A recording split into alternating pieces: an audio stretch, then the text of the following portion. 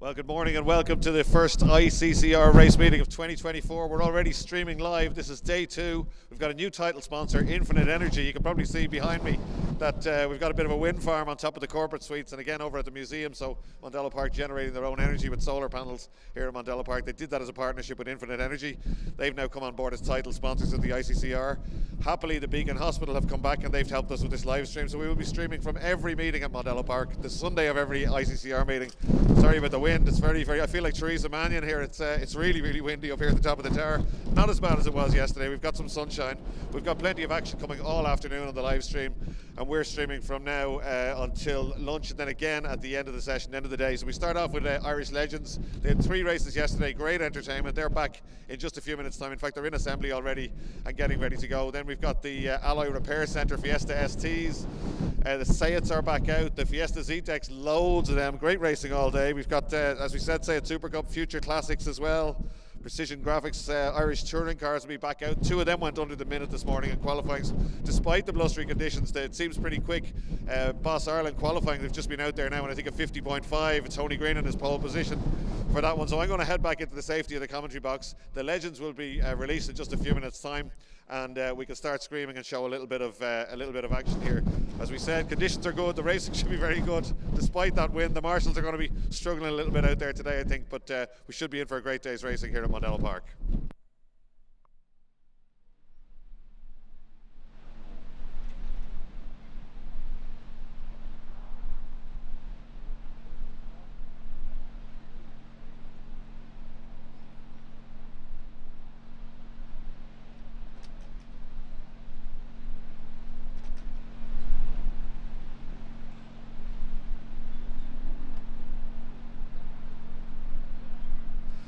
Go, great shot with uh, from See It Live, looking down at the M Town Bridge, Southside Motor Factors corner, and uh, our logos, of course, on the bottom of the screen. Infinite ener energy that we spoke about. You can uh, see those solar panels from some of the shots. You'll see them later on today. We actually have a fleet of Opel, Opel Ireland uh, e-Corsas, electric uh, courses that we use for the transition year program for early drive. And uh, those cars are effectively being charged for free at Mondello Park lately with the use of this wind farm. Here's one of the BMW Ireland safety cars coming in, brand new BMW. Uh, there's there's uh, some of the solar farm we have on top of the corporate suites, and the other half are out over the museum on the far side of the track. So they're supplied by Infinite Energy. Do uh, have a chat with them if you're thinking of getting uh, a little bit of uh, solar work done in your house or business. So the BMW safety car just coming back down there. As we said, that's a brand new uh, BMW M2 competition CS. Very, very quick car, 460 brake horsepower. You can drive that car around the track here at Mondello Park with our BMW uh, experience. You just log on to mondellopark.ie and uh, pick your car, Ferrari, BMW, Porsche, single seater, whatever you want, loads of different options. Uh, a lot of investment in Mondello Park. You can see on the right hand side there, there's all, it's been tarmacked all the way from the gate in, proper car park marking, laurel hedges on both sides and uh, the place looking really, really smart. Well done to Ian Beattie, John Rock, and all the team. Uh, they've done a lot of work in over the last few weeks in anticipation of this opening meeting. And you can see new pickup vehicles there down in the pit lane, all new BMW uh, safety cars, medical cars, all that sort of stuff. But it's legends going out on track first, and they will give us some fine entertainment. They were really good to watch yesterday. In fact, uh, race three, Owen Lawler took the win. He was delighted. Owen to been. Uh, he raced Fiats for many years and then went off racing karts and came back. He's here with his family yesterday. Absolutely delighted to take that win in uh, in, in race number three. And he'll be looking for another one here today. He starts in pole position, but he's got Sylvie Bartlett alongside. Sylvie, an ex Formula V racer, and did Fiesta STs last year and did quite well in them. And uh, had a one-off race in a legend and decided that's what he wanted to race. So got himself a legend and uh, has had it done up. Looks absolutely superb. In fact, they all do. It turned out really well. Most of that legacy of uh, Paul O'Brien's wonderful POB racing team. There's your graphics. Owen Lawler will start on pole position. Alongside him will be Sylvie Bartlett. Then Willie Lawrence, watch out for him. He was a rookie two years ago. He's very much an experienced driver and has won in these cars before. Evan Curran alongside him, another rookie. Then Scott Jackson, Richard Spence. And then it's uh, Lee Malone, another really quick man. Watch out for that car number 13 and 7, Derek Hogan. You won't miss Derek Hogan. The car is a lurid pink, known as the Pink Panther. Then it's Anthony Malone, and yes, that is the same Michael Barrable. That's Michael Barrable, who is the reigning Fiesta Zetec champion. Now he's saying he was struggling a little bit adapting to these cars. They are completely different to a Zetec, and that's a massive understatement. Uh, so he was starting to go well by the third race yesterday. Michael's massively experienced and has driven many different cars. I don't think it'll take him too long to uh, to get the hang of these. So watch out for Michael Barrable coming from the back in the yellow and blue car. You can see it there on the right hand side of your screen. They're weaving around and uh, they'll do a rolling start as they always do. Motorbike engine. Glorious sound effects from these legends when they get going. They're up at Southside Motor Factors corner now in grid formation. Once the starter is happy, he will change the lights to green. You can see them on the bridge there on the BMW M Town Bridge. Here come the legends. Second gear, I'd imagine. Watch for somebody looking for a jump at the back. Peter Barrable used to be really good at it. He won the championship last year, and away they go. Don't think anybody's got a jump there. Somebody waving on the left hand side in trouble. That's Lee Malone, I think and it's dropped right to the back. Michael Barrable's up three places already. Oh, down the outside, he gets out of shape. Lawler it is who's uh, leading. No, it's not. Bartlett round the outside of Lawler as they head for Campion Corner, turn two. Great move. So Sylvie Bartlett leads, and uh, in fact, Lawler falling back into the dogs. Red flags are out. The red flags are out. The race has been stopped. I'm looking around here. I see the BMW safety car is parked already out on the track. I don't see any reason why uh, it will be, but it's out of my view. So apologies for that, but the red flags are out. There must be a car off somewhere around the circuit. Most of them are still running. We might be missing one or two, but uh, I don't see. Michael Barrable's still there. Lee Malone's still there, I think. Well, we'll see what happens. They're heading back round for a red flag.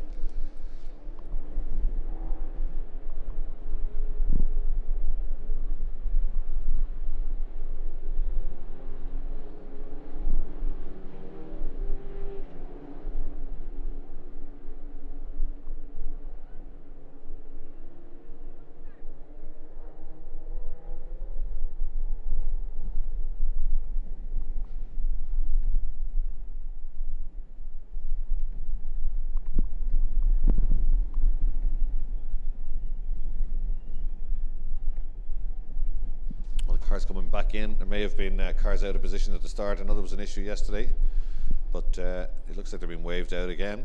Some coming into the pit lane, some not. A little bit of confusion there. Derek Hogan didn't go into the pit lane. Nobody off, so uh, red flags being waved furiously. So it's not a safety car, it's a red flag. In fact, the marshal's out on track stopping them. Seems to be, have been possibly an issue with the grid order I'm hearing in my ear. But either way, nobody's off, which is good news, and we should be getting racing again on uh, on the Beacon Hospital live stream very, very shortly.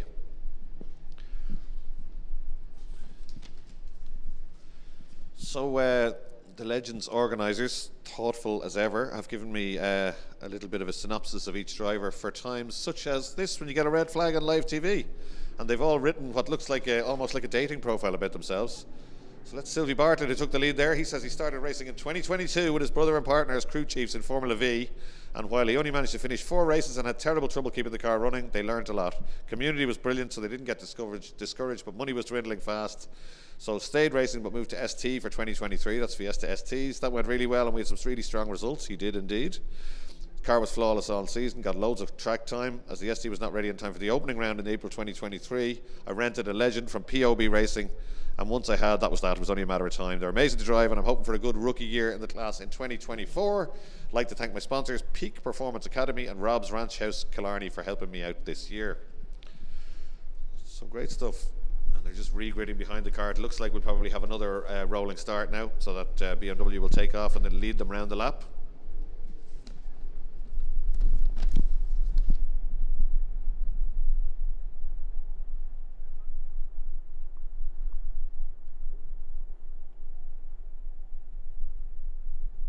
So poleman Owen Lawler, number 55, said he raced Unos and Puntos in the noughties, returned racing in carts for a few years before returning to circuit racing in Legends Ireland Championship a number of years ago. Looking forward to some, some close racing in 2024 and hopefully get some more good results. Well, he got one yesterday, didn't he? Took a win in race three. Uh, massive thanks to all my sponsors Mace, Morristown, TJ O'Mahony, Skylight.ie, BWG Foods, and DMC.ie. That's the good thing about a red flag. You get sponsors get a mention, don't they? So look at the speed of that BMW. I didn't say it was quick, but uh, yeah, 460 brake horsepower. The rain is starting to come down. Look at the lens of our cameras down there. We've got spots of rain already. Just hope that the, there's a very strong wind that'll drive it across. Pretty quickly. It does look a little bit misty. Look out the background there. That's a good shot. That's where the weather comes from. Out beyond turn three, an even better shot there. The Hill of Allen in the background. And that's where the rain comes from generally in Mondello Park. And that's where the drivers look out from. If you can see the Hill of Allen, uh, generally the weather is going to be okay. If you can't, there's rain on the way. And there's certainly rain coming out. It's gone a little bit darker. We've very high quality cameras from See It Live, so you don't see it here. But certainly it has gone dark outside. It's gone uh, threatening dark skies. And the wind is, uh, is really picking up there. So the uh, these 1200cc motorbike engine machines, you can see in the background there another great shot. That's the international loop. That's another one kilometer circuit out there, and that's uh, the experiences are running on that today. So uh, customers are out there going around in the racing saloons, the Mazda race saloons, uh, being timed on that one kilometer loop. So having great fun. You can book yourself in there on MondelloPark.ie. So here come the legends again all back in their grid positions. Owen Lawler and Sylvie Bartlett side by side on the front row. Then Evan Curran, Willie Lawrence, Richard Spence, Scott Jackson, Derek Hogan, Lee Malone, Anthony Malone, and Michael Barrable. Great sound effects as they go by us here in the tower, just feeding them gears on the way down to turn one. Very wet though, and these cars are engineered with a little bit of Bartlett there, gets way out of shape and hangs onto it beautifully. I thought he was going to go around there. Big armful of opposite lock for Owen Lawler as he stands on the power, but Bartlett's got it again round the outside. A Little bit of contact, that's, uh, who is that? That's, um, let me have a quick look. Here's Evan Curran, I think, at turn two. That beautifully turned out green car, just catching up with somebody else. But I think they've all kept going. Rain is streaming down now. Again, you guys can't see it. I can see it on the windows of the commentary box. These cars will be very difficult. They don't have much grip in the dry. They have loads of power, but they take a lot of car control. They don't have a differential, so they tend to push on. So you have to steer them on the throttle. You actually sometimes have to turn them in on the throttle to get the back to kick out, which won't be a problem here in these conditions. Look at uh, who's that down the inside. That is, oh, that's Michael Barrable down the outside of Derek Hogan all the way from the back. So Michael Barrable definitely getting the hang of it. He's an ex-rally man. He won't be afraid of the wet conditions anyway as they come out of the S's. And he's looking like he's in a hurry here. He's passed three or four cars already. But it is Sylvie Bartlett, the rookie, leading this one. They've got rookies and pros, depending on how long you're in the class. Oh, very difficult conditions now. Go by to complete lap one. Six minutes 40 seconds to go in this one. So the order is Sylvie Bartlett just about from Scott Jackson, who's down the outside on the brakes in the Rapco car, trying to sweep around the outside. Can he get it done? He possibly can for Campion Corner. Indeed, he can. Sylvie Bartlett sits it out with him, though. They're still side by side on the exit. Oh, I think Bartlett might have hung on. That's impressive stuff from him. He hasn't got much mileage in these cars, but he sat right round the outside there and has hung on to that lead. So Bartlett still has the lead. Now he doesn't. It's changed again at the first apex of turn three as they head through. Double right hander.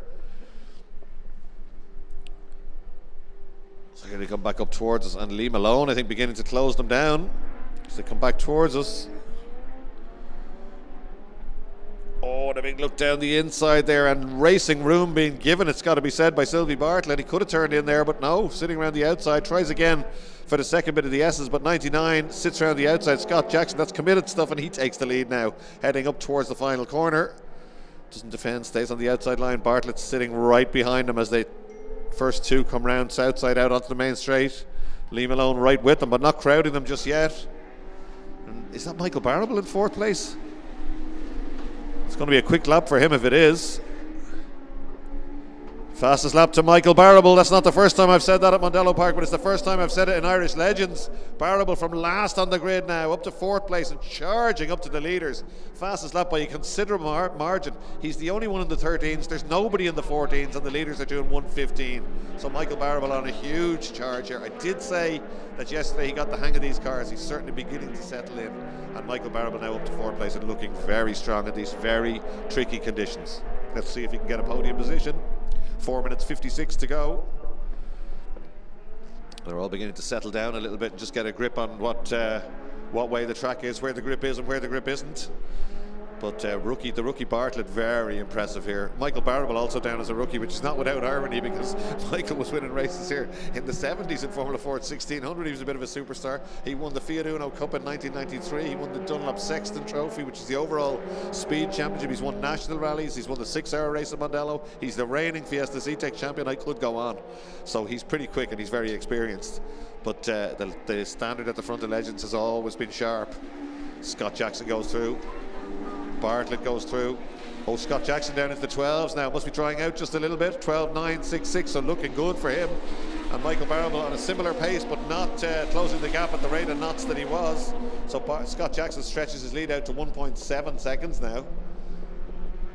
Another half a second back for Lee Malone, and then Michael Barrable at 1.7 back from that. So Michael Barrable not making the progress that he had made from that really quick lap a few laps ago. There's our order on the left, and you can see the colours. This is new for 2024. The uh, purple or pink colours beside the numbers uh, that denotes the rookies. So Bartlett, Malone, and Barrable. Sorry, Bartlett, Barrable, and Curran are the rookies there. Evan Curran going well as well. That beautifully turned out green car. We only saw a quick shot of him earlier. He's running there in fifth place. Barrable still hanging on to the lead. There's a massive gap back behind him. In fact, it was five and a half, six seconds as they went by the last time. But no, Barrable certainly not catching the first three anymore as he was. He drifts the car out of the S's there. Nordic Spirit corner and up the hill towards Southside. But Scott Jackson looking pretty content out front. He's not getting out of shape. He's getting into a bit of a groove. He had fastest lap last time round.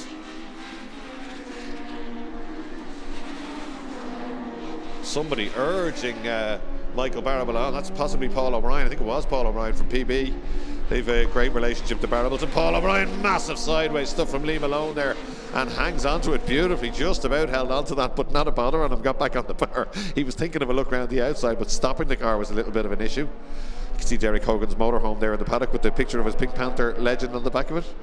Back down, waiting for somebody to come back round towards the S's now. It should be Scott Jackson from Sylvie Bartlett, Lee Malone, and Michael Barrable. And is your first four.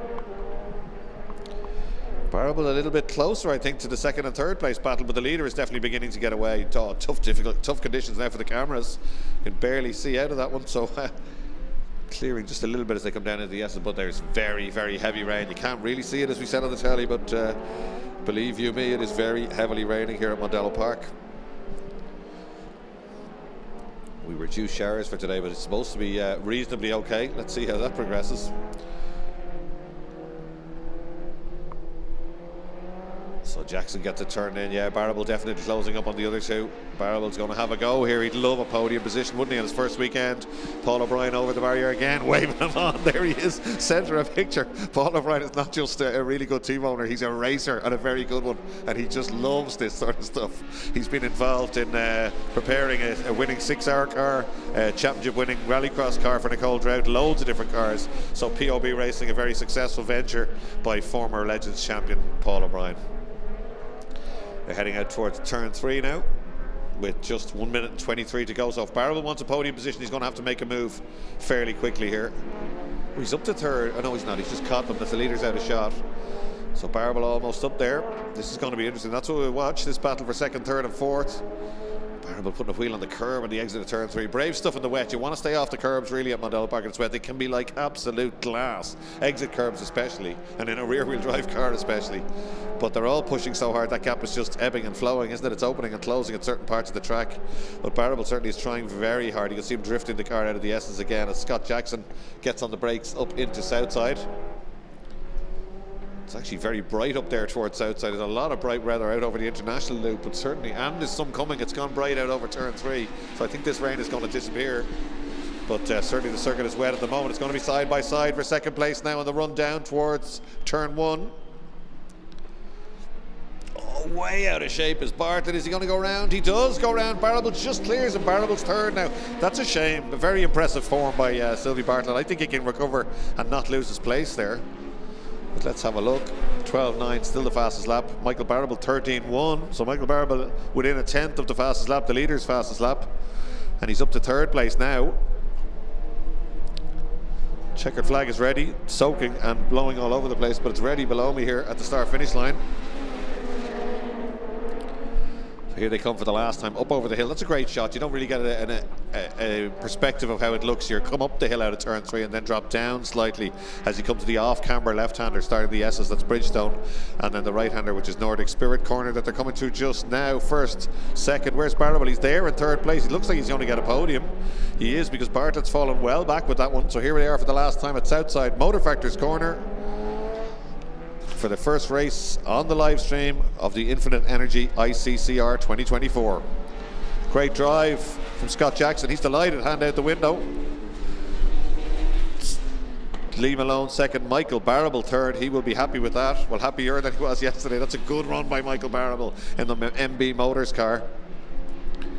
So Michael and his son uh, Peter Barrable have swapped roles this year. Michael won the Fiesta Championship, and uh, Peter won the Legends Championship. So just for a bit of fun, they've swapped. So Michael Barrable's in Legends, and Peter Barrable, who took pole in the dying minutes of qualifying, will be out in the Siltech Safety Fiesta Zetec later on. Somebody off at the final corner.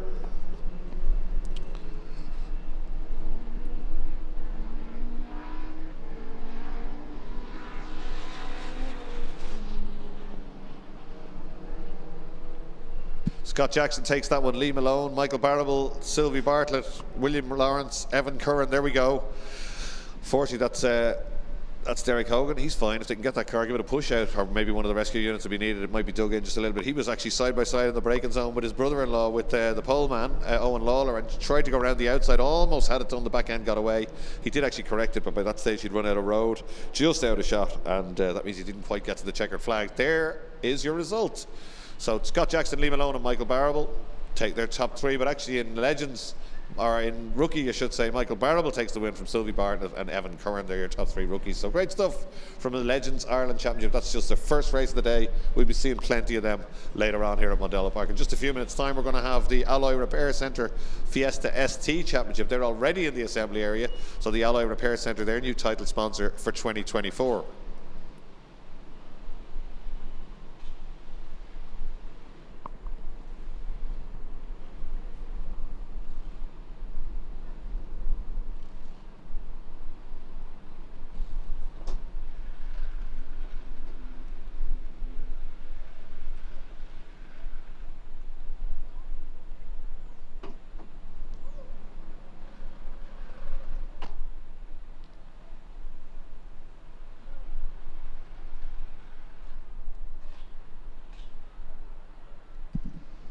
So you can see down into the pit lane there, uh, it's still very, very wet, but actually out over turn three, it is beginning to get a lot brighter out there. The weather changing so quickly because of the strong wind, of course, those uh, rain clouds being blown across the circuit and away. And it looks like we're going to get some clear weather, but Fiesta STs on uh, Nankang tyres, they don't have wets and slicks, so they'll be a little bit compromised there next up.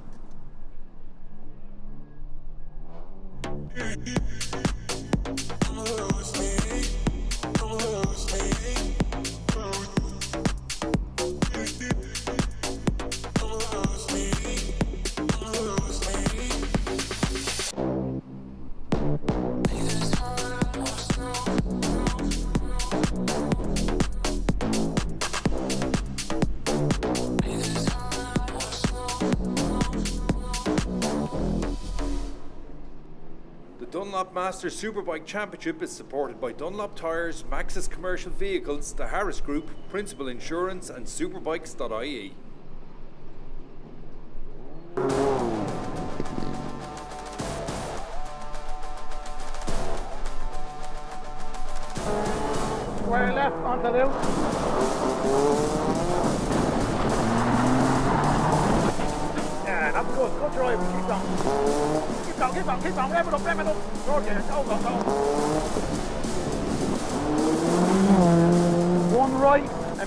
followed by a five right. Keep it left, keep it left, keep it left. Come on, come on, keep on, keep on. Keep on, keep on, keep on, come on, come on, keep going, keep going.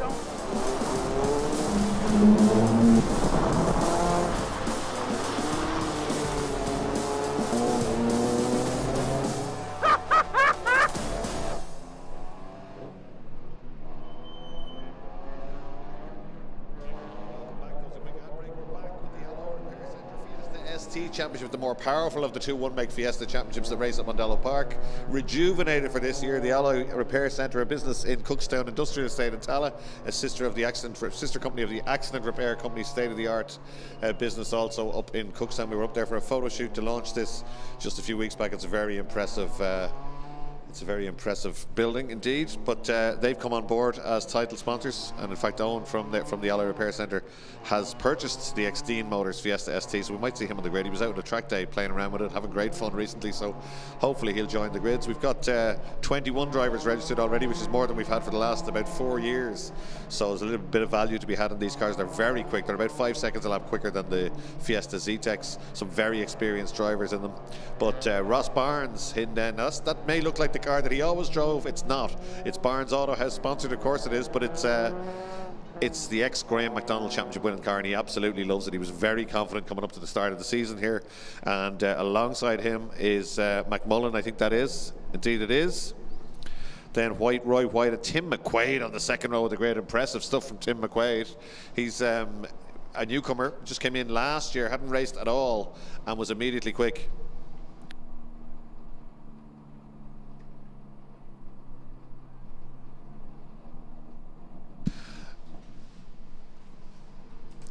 So sorry, that's uh, Tim McQuaid on row two, as we said. Then Michael Cullen is not like Michael Cullen to be back on row three. He's not used to seeing cars in front of him on a starting grid at Mondello Park. Alongside him, Victor Cullen. That's the two Beacon Hospital cars. Beacon Hospital, of course, the sponsor of our. Uh, of our live stream here. Then it's Cian O'Brien 555, the Dundalk Charger. Watch out for him. Gordon Kellett, massively experienced. Chris Grimes Juniors, Bobby Turley, Eric, I'll have to, I, apologies if I get this wrong. Uh, Conisme, I think. I'll check that out at lunchtime. Then Brendan Fitzgerald returning from the UK. Trevor Farrar, Chris Jones, Chris Grimes Sr., Wayne Laverick, Marcus Hayes, son of the legendary John Hayes, and John Elliff. Watch for John Elliff. He won't stay at the back for too long. Ex car, I don't think he got any laps in qualifying in his new car.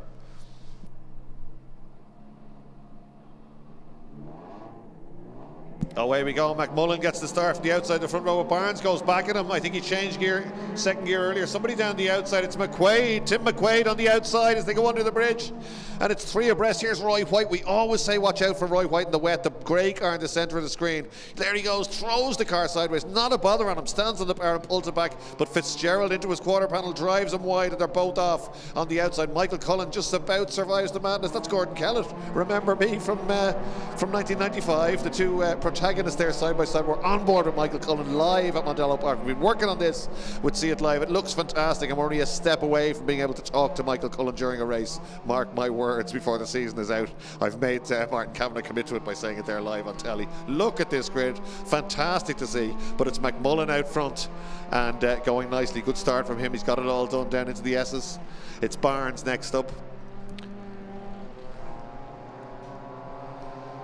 Gordon Kellett, Michael Cullen, all in the mix there. Uh, Victor Cullen, too hard to identify them as they come back towards us, but uh, they're all streaming through somebody very sideways. That's Roy White, isn't it?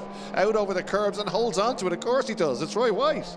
Well, that's great entertainment, but the drifting is on in a couple of weeks' time. Jobfest, uh, you're a few weeks early there with those angles, I think, Roy, coming out of the S's. But he is a joy to watch in wet conditions. Yellow flag there. Somebody off down at turn one out of our view. That's Chris Grimes Jr. up to third place. Great stuff from him. Young uh, rally crosser and an auto tester. He would have no problem getting a car out of shape. And uh, hasn't gone this well in STs before, but he's in third place overall. Christopher Grimes Jr. Great stuff from him. That's Fitzgerald off up on the bank. And the outside at turn one. We're on board again with Michael Cullen, and that's uh, Cian O'Brien. I think, oh, out on the curbs, it's rough stuff. They're all trying really hard. Third gear. Does he go for fourth? No, leaves it in third. There's the new tone car of McMullen now down into the double apex right hander. Barnes, is he a little bit closer? I think he's not one and a half seconds behind, maybe. Then it's Grimes. Then it's Victor Cullen. Then it is the 555 car of Cian O'Brien and then Michael Cullen. So the yellow H car is struggling a little bit here in relative terms. Certainly Michael Cullen was dominant. Let's watch him on board. Sawing at the wheel. This is a great onboard shot of Michael Cullen right on the back bumper of uh, O'Brien now as they go to the left. Third gear all the way through there and the right, just trying to find a gap up the inside. You can see what Michael Cullen's trying to do there. Here's McMullen, Barnes, Grimes going beautifully, it's got to be said. Victor Cullen, Michael Cullen with a lunge. Looking to get up the inside now on the exit. There's John Elliff. I did say watch out for him. He's 10th from 19th on the grid. So uh, on a charge as well. We'll keep an eye on him, the brand new car, car number 100. I'm sure he will motor up to these guys. Here's Roy White having a go at Michael Cullen now at the back of this group. The orange and grey car, that's Grimes, Victor Cullen, Cian O'Brien, Michael Cullen. Cian O'Brien gets a little bit out of shape. Michael Cullen tries to get alongside, doesn't get it done on this occasion. But uh, McMullen out front now. Oh, and uh, Cian O'Brien gets wide but carries the speed on, and Cullen doesn't really get up to him.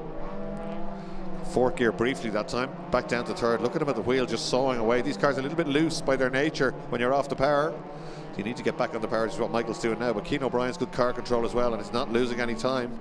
They're beginning to space out a little bit. Grimes looks good, doesn't he? He's been fantastic in Rallycross, and he comes from a wonderful motorsport family as well. His father and his uncle, champion auto testers, uh, very well known in the uh, in the pylon uh, areas of, uh, of motorsport there. And he does a little bit of that as well. They've got a mini special, and uh, he's also, as we said, well known for some rallycrossing. So these conditions probably suiting him here at Mondello Park. Covers the inside line like a pro. Grimes. Victor Cullen just can't get alongside him as yet. Victor right in his wheel tracks though as they come out. Michael Cullen struggling a little bit in the background. He's dropped back from uh, Cian O'Brien and he's got Roy White in the Murray Motorsport car right with him. And behind Roy White is Tim McQuaid who qualified so well. Marcus Hayes making good progress as well. Another the new name, but uh, no surprise there. Oh, look at the sideways stuff. That was a beautiful shot of McMullen. Just big four-wheel drift coming through Campion Corner, and he needs to because that gap's coming down. Fastest lap last time round, Ross Barnes. This is going to be the battle for the lead shortly, and we still have 10 minutes and 42 seconds to go. There's your uh, your gaps on the left-hand side, the new graphic that we have, and of course the Alloy Repair Centre logo on the top left of the screen. So McMullen is pushing very, very hard, but he did a 14-1 last time round, but Barnes four tenths quicker, 13-8. Grimes still very impressive in third place. Victor Cullen tracking him. Then Cian O'Brien. Roy White has got by Michael Cullen. And Cullen now under pressure from Tim McQuaid. Here comes McMullen. Hazards like lights flashing, as, as are Victor's. Victor going to the outside, trying to get back to the inside, but the back of the car moving around on him at the apex, just uh, having to put a little bit of opposite lock on as opposed to trying to get up the inside, which is what he was planning. He's still got a good exit though, and he's right on the back bumper of uh, of Christopher Grimes Jr. Grimes is calm as anything though, goes to the inside. Victor getting a bit brave down the outside on the brakes. Cian O'Brien will be trying to get up. Oh, a little bit of opposite lock for Victor at the apex there again. The car's quite taily. Hang on to it beautifully. Victor, of course, has been racing in the UK already this year. Very impressive outing in the Lotus Cortina at Donington. Michael Cullen balancing the car there. Car looks like a little bit of a handful, doesn't it? There was opposite lock at the apex there as well. I think that's just conditions, though. It's very great. Oh, it's beautifully bright out over turn three now. I know it's not, you haven't tuned in for weather forecast, but certainly the weather has cleared and we can see out over the hedges there at turn three, and there's nothing but sunshine coming. That's uh, not going to help these guys because it's still very treacherous out there. These cars can go around in probably the 106 bracket. Fastest lap of the race is 113.8, so that'll tell you how wet the track is as Victor Cullen still continues to hunt down Christopher Grimes Jr. for the last podium placing. There's McMullen.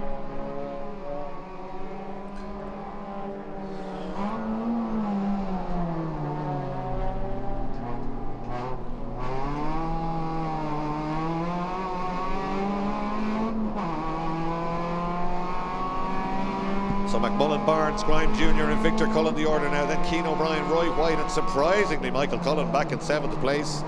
Not used to seeing that. Once again, Victor is just trying to find a way by, but he's being clever, Victor. He's not uh, going to throw this one away. He knows that he'll need those points at the end of the season. Fourth place points are better than no points. Again, Michael Cullen struggling a little bit, isn't he? There a lot of inputs into the steering wheel midway through that corner. I wonder did they gamble on a dry setup? They've got new front shocks in these cars this year. They're adjustable. They're better quality. They're gas shock, better quality than the ones that were in them because these cars were tending to hop and bounce a little bit. The drivers didn't like them, and uh, they were a budget shock that were in the car. Now these shocks are not a whole lot dearer, but they're certainly a lot better in the car. You can well, you can see it now. You used to see the cars hopping and bouncing coming down into the S's. Haven't seen any of it today. Look at that from McMullen. He's not afraid to let the back of that car hang out, is he? coming out of the S's through Nordic Spirit Corner, and he needs to do that because just matching him every lap. A tenth quicker last time was Barnes. Grimes looking very composed ahead of Victor, isn't he? He's not looking flustered at all. And Victor has been crowding him and trying to get on his back bumper. Look again, Victor trying to look up the inside, but doesn't get the exit. And that's McQuaid has got by Michael Cullen. Down the outside into Southside corner. It's a bad day out for Michael Cullen, unfortunately. Tim McQuaid has got ahead, the novice. So down they come into turn one. We're on board now with Michael Cullen. Gets turned in. McQuaid Motors car in front being beautifully driven, beautifully turned out. That's a teammate of Michael Cullen. He's running with LOH Motorsport as well. That's uh, Luke O'Hara Motorsport run by Kevin O'Hara. Great team. They've uh, lots of top results, but they're massively competitive and very serious about their work. They won't be happy. There'll be a big debrief after this race, before race two, no doubt. I'm sure there was one after qualifying. So Grimes now has eased away from Victor Cullen. Who's got fastest lap? Roy White, 12.6. Roy White's half a second quicker than anybody on track. Let's have a look for him. There he is, the back of this group. The grey car at the back of this group. Roy White. Oh, Michael Cullen on board again. It's a great shot, isn't it? Down to the trying to keep it over to the left for as far as they can. He's third gear all the way around there, not using second at all. And on the power, hard on the power. Watch Roy White at the back of this group. Look at him on the outside.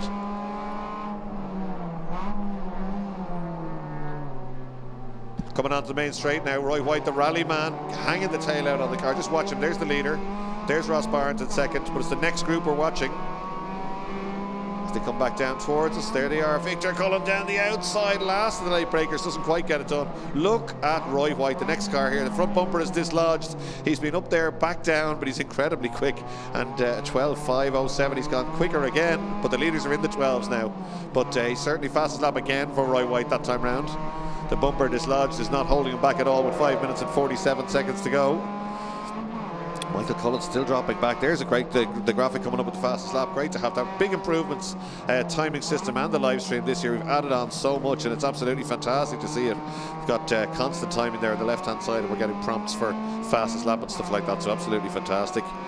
Come back down towards the SS Grimes, hangs the tail out this time, balances it beautifully with a big lump of power, puts the uh, the throttle pedal through the headlight as the drivers say, pulls it back straight.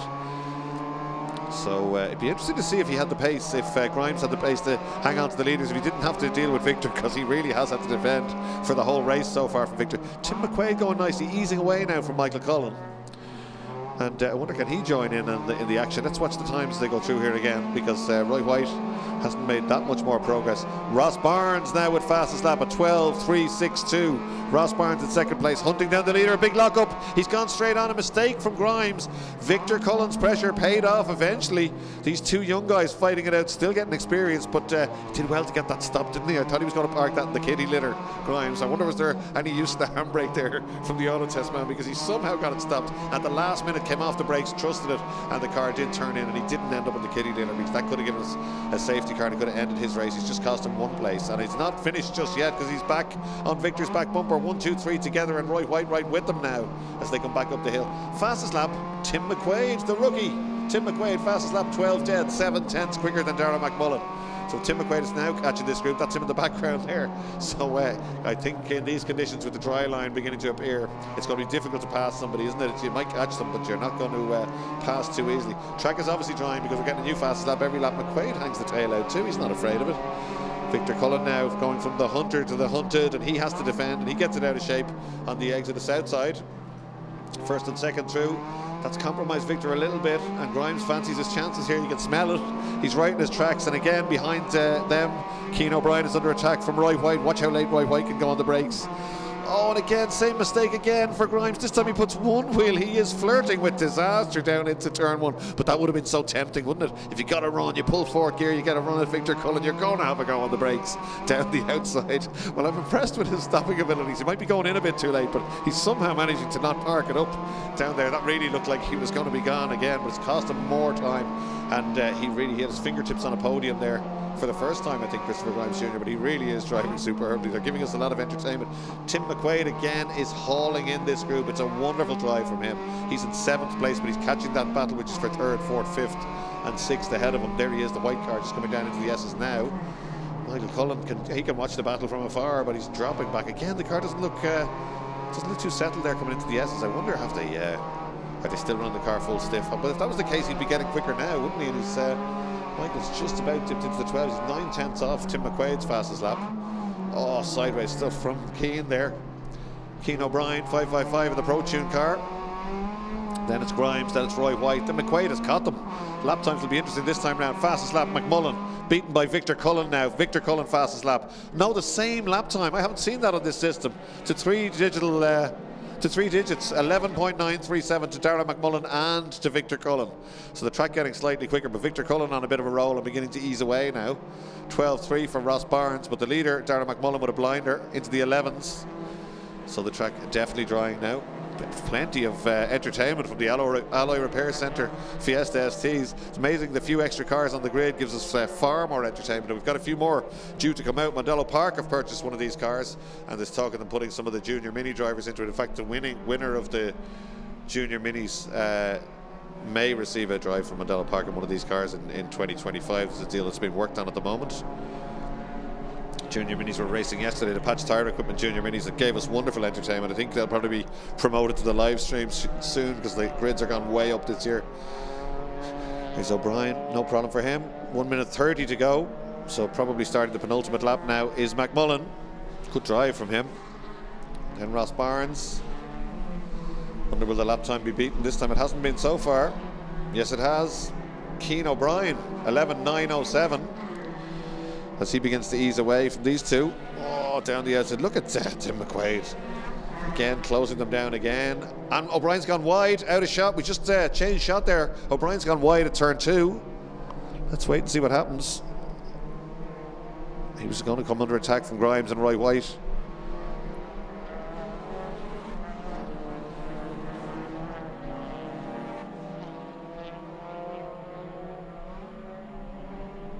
Coming back over the hill now. This is it, yeah. They've all closed up. O'Brien hung on to it, but the gap has been closed because Grimes is with him, White is with him, and now McQuaid is with him. And we've got another lap to go because there's 35 seconds to run a beautifully controlled drift by the Pro Tune car of O'Brien down into the S's there. And he's beginning to ease away again, isn't he? When they came back into the shot, he was right with him. He's very confident in these conditions. I think O'Brien has realised that it's trying. He's got fastest lap, remember, but he's a big mistake down at turn one uh, at the start of this lap, but he's certainly uh, got it all together. As Victor Cullen begins to haul in Ross Barnes now, now they're starting their final lap. One more lap, two kilometres to go for Darragh McMullen. Ross Barnes in second, Victor Cullen in third, then Cian O'Brien, Chris Grimes Jr., Roy White, Tim McQuaid, Michael Cullen in eighth, then Trevor Farrar and John Elliff, who has charged all the way from the back. Roy White having a look around the outside now. Grimes says, I don't think so. Uses all the road on the way back out of turn one and they all have to touch the brakes as they go through Campion Corner. The reason for that is you don't want to go through that corner in the wet on a trailing throttle. The car will just go around on you, so you're better off slow it slightly on the entrance and drive it through on the power to make sure that it's more stable. And Tim McQuaid, I don't know where Tim McQuaid gets his uh, speed or racecraft from because he started racing last year, but he hasn't done much at all. Really is going nicely though. Marcus Hayes, another man on a charge, driving his father's iconic number 88. He's up to 12th place. So he'll be delighted with that. First race in Fiesta STs, running John Hayes cars on the side of the car. A little bit of Peugeot Talbot Sport stickering, I think I saw on his sun visor this morning uh, when he was going out to qualify. But it's going to be Darragh McMullen, the perfect start for the season for him in the Alloy Repair Centre Fiesta STs. He has not made any mistakes at all, and he comes down to a strong win in race one. Great stuff from him. A good gap from Ross Barnes in second place. Then it's Victor Cullen. A good drive from Victor Cullen to third place. Then Michael Cullen still has time to give uh, thumbs up to the team, but I think it was a thumb as he went by the LOH Motorsport uh, crew on the wall there. You can see them at the top of the screen. They will have a massive rethink before race two. That was John Elliff that we spoke about just crossing the line there, and he did get a top 10 finish. I did say watch out for him. He started 18th and uh, he got a well up through them there. So good stuff from him. Fastest lap stands to Cian O'Brien, 11.907, the Dundalk man, carrying SWR on the side of his car, Sean Woods Racing. Remembering the late Sean Woods, of course. So there are the official, well, not the official results. That's our graphic. The Alloy Repair Centre Fiesta ST Championship Race 1. Darragh McMullen takes the win. Second place, Ross Barnes. Third place, Victor Cullen. Fourth place and fastest lap for Cian O'Brien. Then Chris Grimes Jr., Roy White, Tim McQuaid, Michael Cullen, Trevor Farrar, and John Elliff. Great stuff from the Alloy Repair Centre Fiesta STs. Highly, highly entertaining. There's the rest of them. So uh, a lot of new names, as we said, a lot of new cars back out. We only had uh, 16 finishers, but we had uh, 20 entries originally, and we lost two early on. Gordon Kellett and uh, Gordon Kellett and Brendan Fitzgerald, I think. So they're just coming back into assembly now. But uh, Great entertainment from Fiesta and don't forget they're back on again after lunch. We'll be looking at the timetable to see what's out. So next up, we will have Precision Graphics Future Classics Championship. A great grid of those guys. Then the Precision Graphics Irish Touring Cars Championship, and then the Seat Super Cup Ireland Championship, the factory-built 340 brake horsepower Seats one make fastest one make saloon championship in the country. We'll break for lunch. We're back with the Siltech Safety Fiesta Zetec Championship. That's the biggest uh, grid of the day as ever. Then the uh, Connolly's Top Line Formula Boss Ireland Championship. Then Legends Ireland are back for race number two. The Alloy Repair Fiesta STs for their race number two. And then it's Future Classics, ITCC, Seat Super Cup, Fiesta Zetecs, Boss Ireland again. And we'll finish out with the third race of the day for the Irish Legends. The sun has come out. It's absolutely fantastic. Uh, looks really good out the back of the circuit now. Main Straight, as you can see, still a little bit wet, but it's certainly going to dry pretty quickly as the Future Classics prepare to leave the assembly area.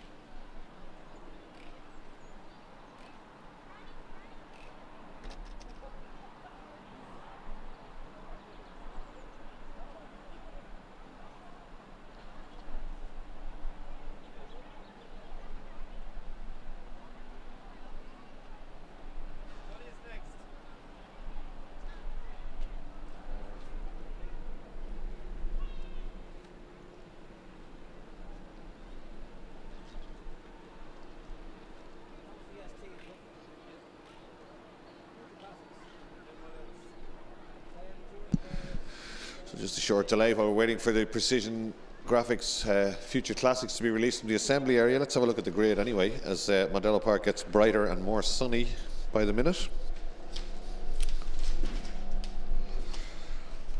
So pole position will be the Honda Civic of uh, Connor McElmeal. I hope I'm pronouncing that right because I got it wrong the last time he sent me an email.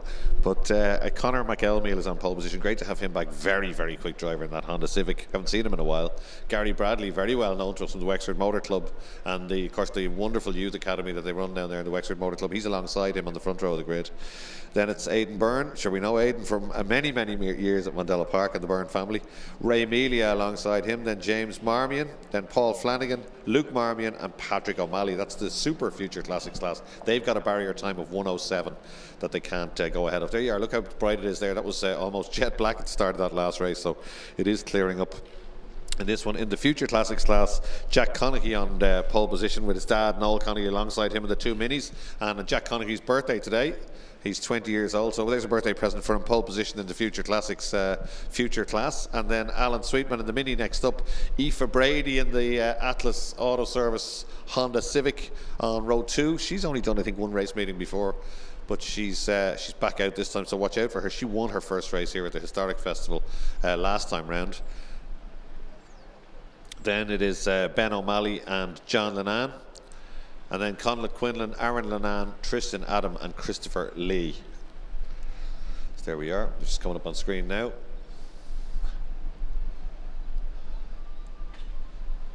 It's Christopher Lee and a Punto will uh, bring up the rear. They still haven't been uh, released, and I'm not sure. I don't see any rescue vehicles on track looking out the windows here, but uh, there seems to be a little bit of discussion going on down there in assembly. I'm sure they'll be out shortly. Strong grid of these uh, future classics. Always, as ever, great variety of cars. You've got uh, Fiesta Zetecs, you've got uh, Fiat Puntos, a lot of Minis, a lot of Hondas, and uh, and Mazda RX-7, a classic Mazda RX-7, a beautiful bit of kit I saw in the paddock this morning.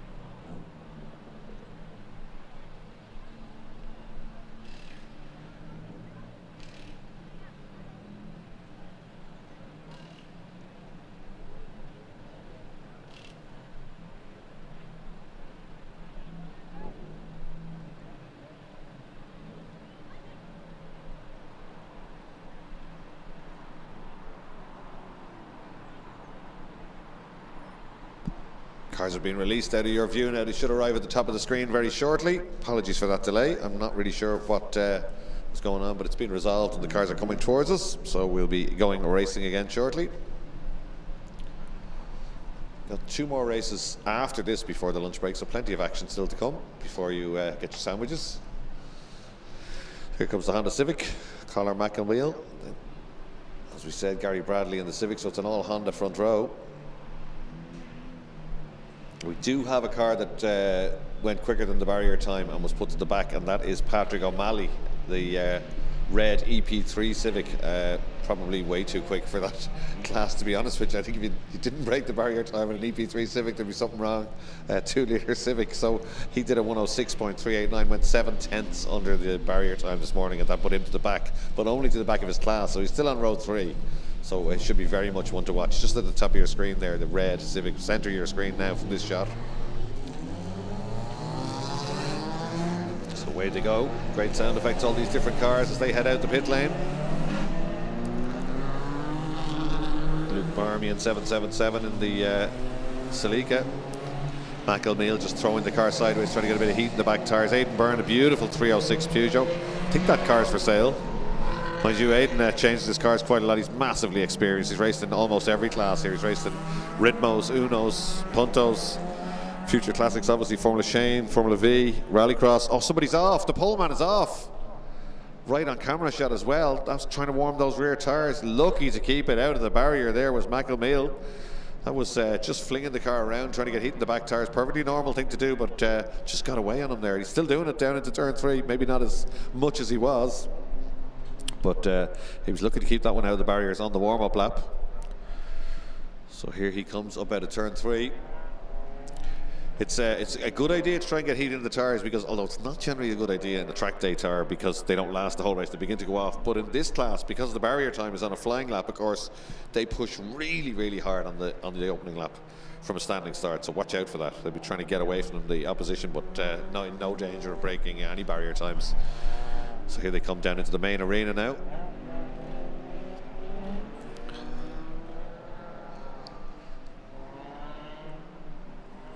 He's still throwing the back of that car around the rear. He wants to get the temperature into.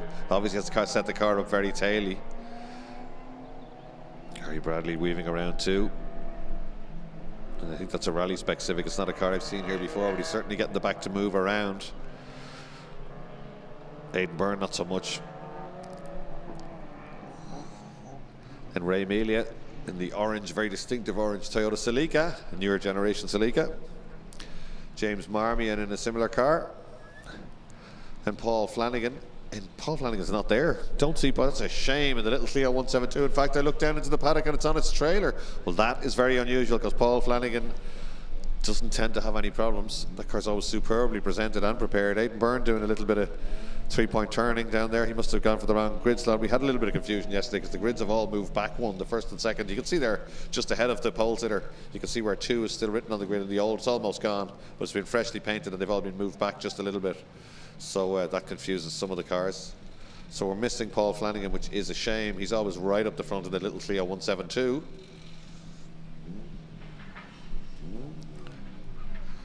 We should be almost good to go the future class not lining up as per the grid I have. It's uh, it's in fact it's nothing like the grid I have, is it? Brady's on row three instead of row two. Noel Conaghy is on row two instead of row one. Anyway, we'll work it out once they get going, but that's certainly not the grid I've been given, so apologies for that.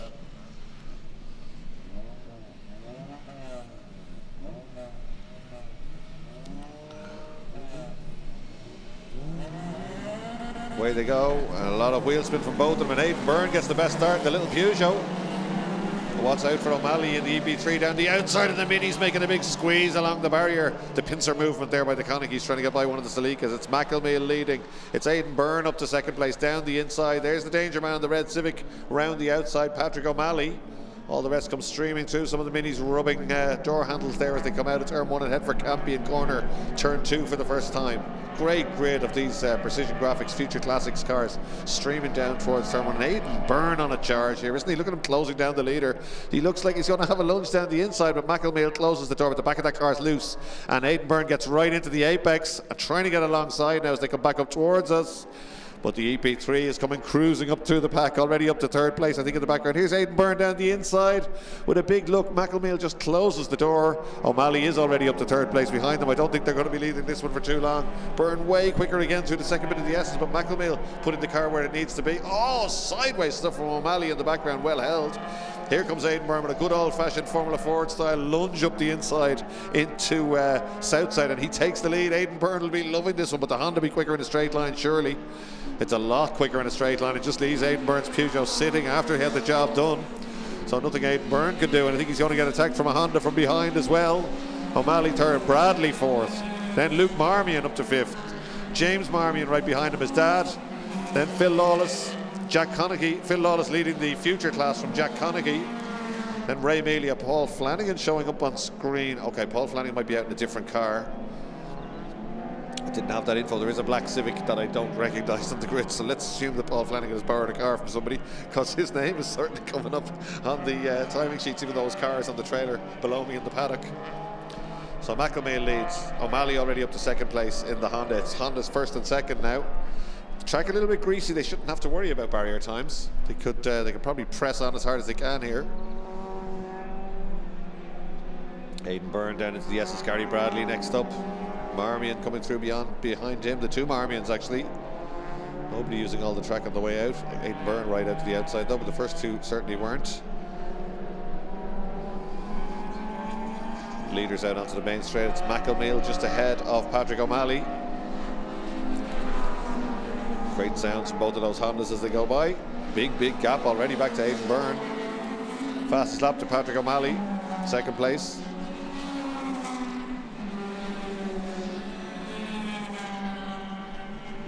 Here we are, 10-1. Nowhere near the barrier, so he's safe enough.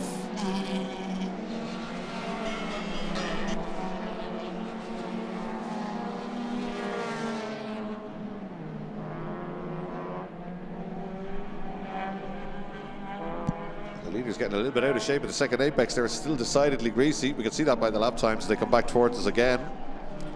So O'Malley just sitting in the wheel tracks of uh, McElmeal at the moment as they come down towards Bridgestone, down into the S's through the left-hander. Stationary yellows there for some reason. And through Nordic Spirit corner. Don't see any cars off, but there is a stationary yellow coming into the S's. Here it is on the right-hand side of your screen.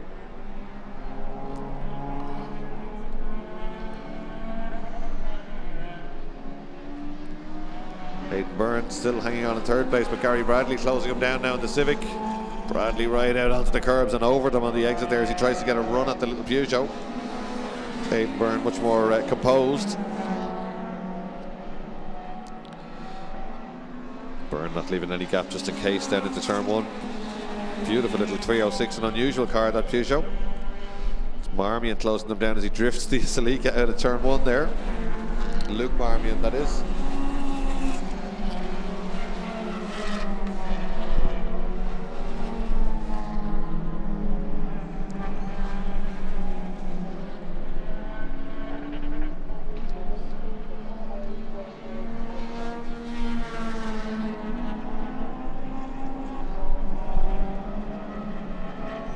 So the order there showing on the left of the screen, but the battle we're watching is Aidan Byrne in third place. Uh, Gary Bradley right with him, and in fact Luke Marmion closing down them both now. So three very different cars about to get interlocked in battle here. Aidan Byrne under big pressure. Look at that from Marmion, well held in the background. Big arm full of opposite lock. If he'd lifted a fraction there, he was going around, but not a bit of it. Kept the shoe in, pulled it back straight. Aidan Byrne just slowing the Civic down at the apex so he doesn't get a run at him and then getting hard on the power in the 306. Has he got enough power? The Civic's coming at him. Bradley's right in his wheel tracks. Not much in it in a straight line though. Good battles coming down towards us here. Some of the future class side by side, but still this battle rages. And in fact, Bradley's got by.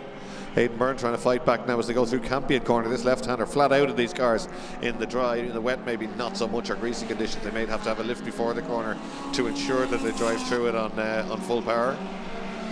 Aoife Brady that we spoke about earlier beginning to make moves now. She's done Belen O'Malley the last lap, just gone by Alan Sweetman there, starting this lap, putting herself up to fourth in the future, third place in the future class. But here's the leaders overall. Puff of smoke there from McElmeal as he comes through the S's. Doesn't seem to slow them though as they come back towards us. They've got down to 108.7, so they are heading towards the times that might get them in bother. Big load of understeer there from Patrick O'Malley. Just went offline, didn't he? You can see from that shot when the cars turn in from the shot, uh, looking at them from behind, that there's one line, the rest of it's very greasy. Aidan Byrne's still having a go, looking for that place back for third place, just behind these two. It's a good battle between those three. And behind that again, massive battle with some of the future cars. There's Bradley, but look, you couldn't see Aidan Byrne. He was hiding behind him there as they came towards us. Byrne right in his wheel tracks, looking for a space. He's very late in the brakes and a good late turn in. Try and get a late apex and get a better exit. That's what he does. But Bradley placing the car beautifully just to the left through the left-hander. So nowhere for him to go. Aidan Byrne does get a run though as they head out towards turn three.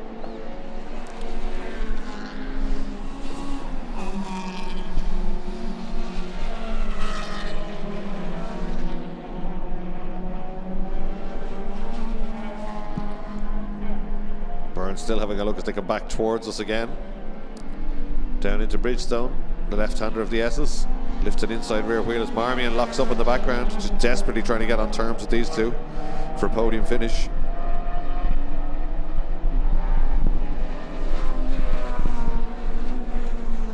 Somewhere around half distance now in this one. Seven and a half minutes to go. Both of the cars getting a little bit of understeer now as it dries out. They're pushing harder. Better exit for Aidan Byrne though, and he's right in the wheel tracks once again in the Civic as they cross the line. Then it's Marmy, and then a gap back to another cracking battle. Battle's all the way down the field in this one. Actually, oh, Aidan just stays out of the quarter panel of Bradley there. There was a gap. It looked like he was going to go down the inside. Bradley just turned in at the last minute. These two having a real go. Both quite experienced, of course. Waved yellows down in turn three stationary yellow here on the main straight and wave down at turn three. Somebody's off on the outside down there. I think it's that Mazda RX-7 in the gravel. It's not affecting the battles, these uh, lead battles. This one for third place, of course. It's McElmeal still from O'Malley. Then this battle between Gary Bradley and Aidan Byrne.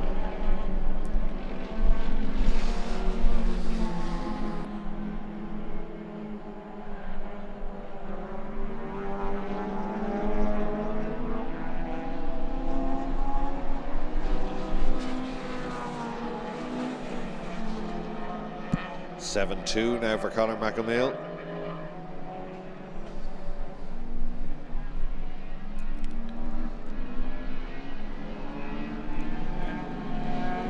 Still raging with the stationary yellows now.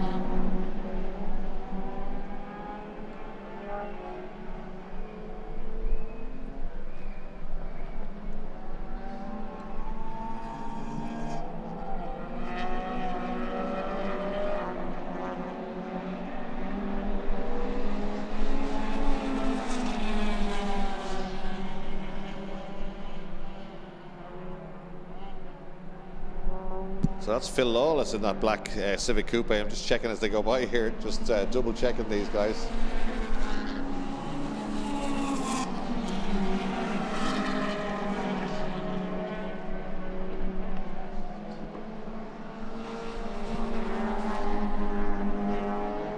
So McElmeal, O'Malley, and then these two, Bradley and Byrne. Five and a half minutes to run. A big look by Aidan Byrne again up the inside. We've seen him do it before. Gets it done beautifully. Last of the late breakers. Lunge down the inside. Civic comes back up the inside. Though Bradley looking for the switchback. I think he's got it. They are door to door, these two. Cracking race. And they've stayed apart so far.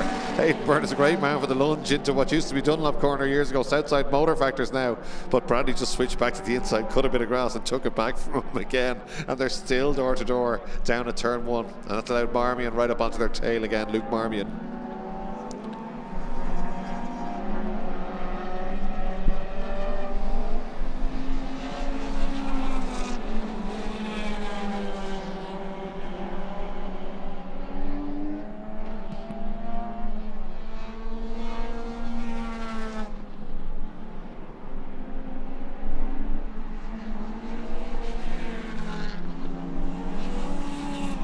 That's Aoife Brady in the Atlas. Uh, in the Atlas car, just leading that gaggle. She's still moving up. She's third now in uh, just on her fastest lap, and she's third in future. Leading future is Jack Conaghy. In second place is Phil Lawless.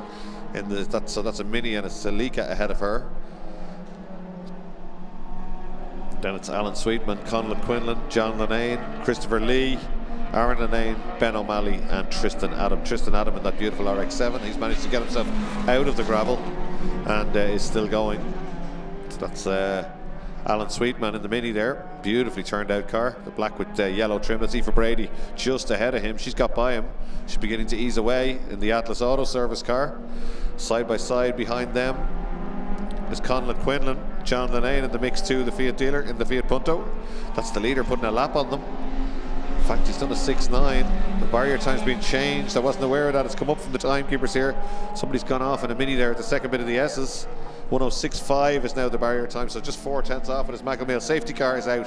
The safety car is out. You can see it there being dispatched at the top of your screen. This is going to close it all up because uh, because of that mini at the exit of the S is going to need to be moved. So they're all slowing right down. The leader is just coming down the main straight, so it's good timing. Waved yellows on the main straight just to tell everybody.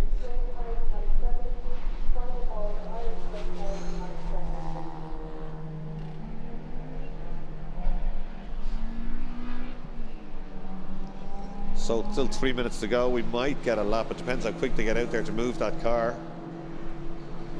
That's Ben O'Malley, I think. 404.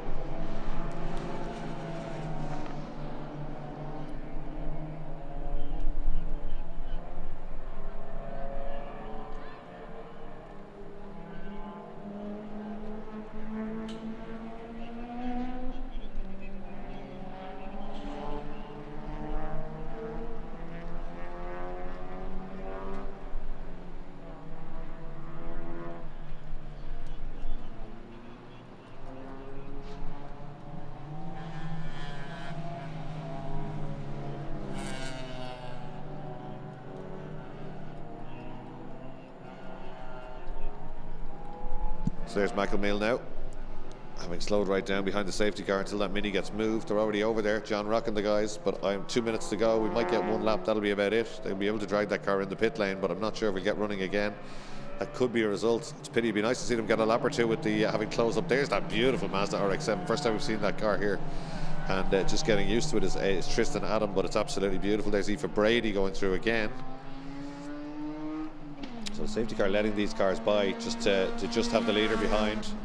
The way they work that is the safety car being in contact with the uh, COC, Ian Beattie, and race control just below me here and they'll be telling him which car is the leader, which car he has to hook up with. So the other cars are released to effectively do another lap, but that's not going to happen, I don't think, with a minute and 28 to go.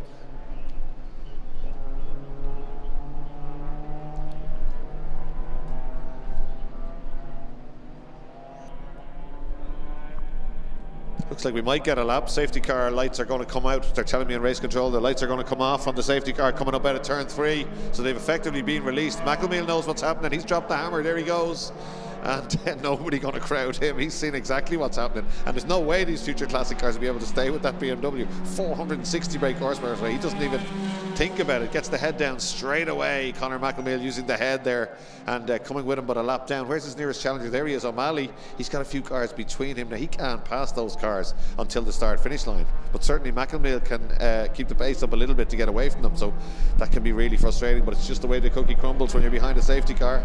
The lights are out, the safety car, and it's gone. It's already back in the pits. So great stuff from race control. We're going to get a one flying lap here. So O'Malley's got to get by these cars in front. I think he's already started progress there, perhaps. He has. He's behind the Mini now, coming out onto the main straight. He should be able to blast by that, surely. It's exactly what he does, but uh, I think he's too far back to do anything at this stage.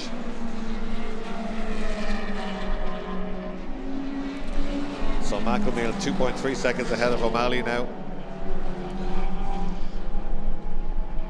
On this the final lap. He's already on his way out toward, towards turn three. That, in fact, is uh, that's Aoife Brady with the uh, Atlas Auto Care. Aoife's a mechanic and she works for Atlas Auto Care. Does a lot of work on racing cars and detailing under bonnets and painting of rocker covers. She's very much a specialist in uh, show cars and stuff like that.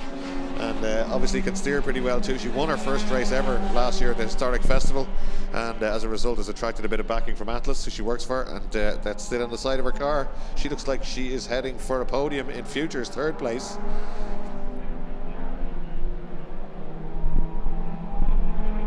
There's the leader, just uh, two cars behind her, and he's going to take the checkered flag. So there we go. That's the leader, McElmeal, down the inside. Nobody near him. Up over the inside curb. He's driven superbly. He's just going to track down Aoife. He might get by her before the start finish line. He won't. So she gets to do another lap as he gets the checkered flag. So Connor McElmeal takes the win. Great stuff from him. Patrick O'Malley in second place. Oh, 6-6 for O'Malley on the final lap, just a tenth off the uh, the barrier time. They've done that superbly, both of them. Didn't uh, break the barrier at all. Christopher Lee coming through in the uh, Punto. This, I think, is the battle for sixth place coming towards us.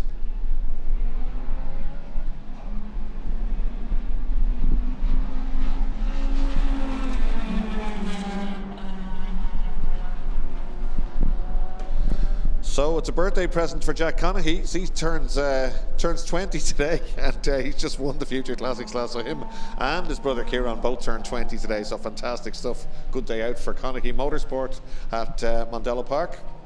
So he comes down. So let's. Uh, there's our uh, our results. Connor McElmeal in the 1.8 Civic takes the win from Patrick O'Malley in the 2 litre EP3, and then a, a, good drive from Aidan Byrne in third place in the 306.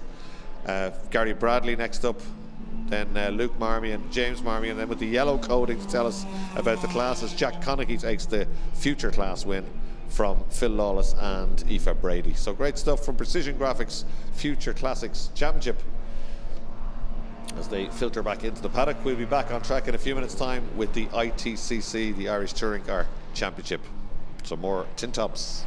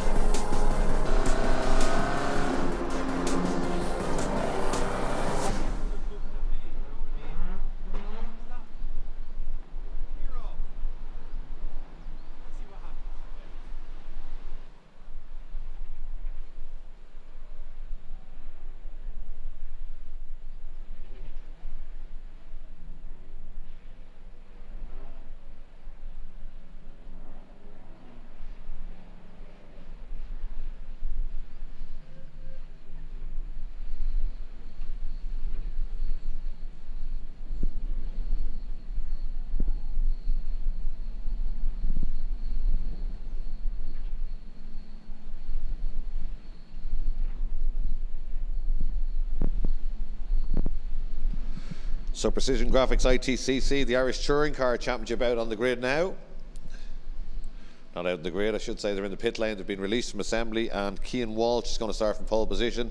He dipped into the 59s, 59.902 for pole position. That beautiful black Civic.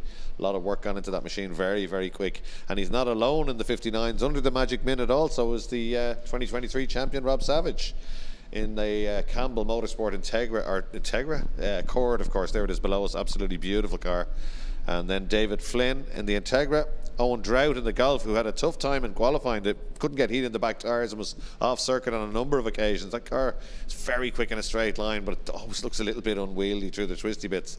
Uh, let's see how he gets on in that one. He's always makes good starts, though. Stuart Curran, Colin Morris, Stephen Martin, Stephen Martin, Ryan Stryker, Ian Stryker, and Michael Clune is the order in this one.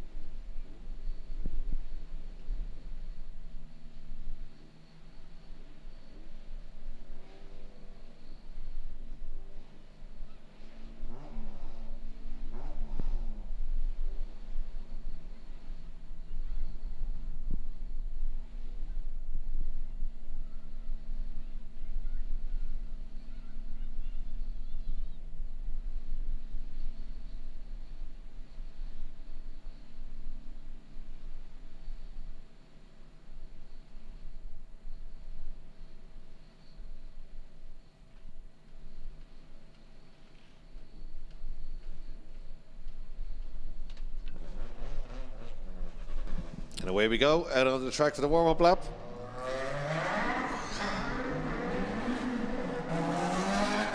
Plenty of power from these cars, distinctive sound from the Hondas.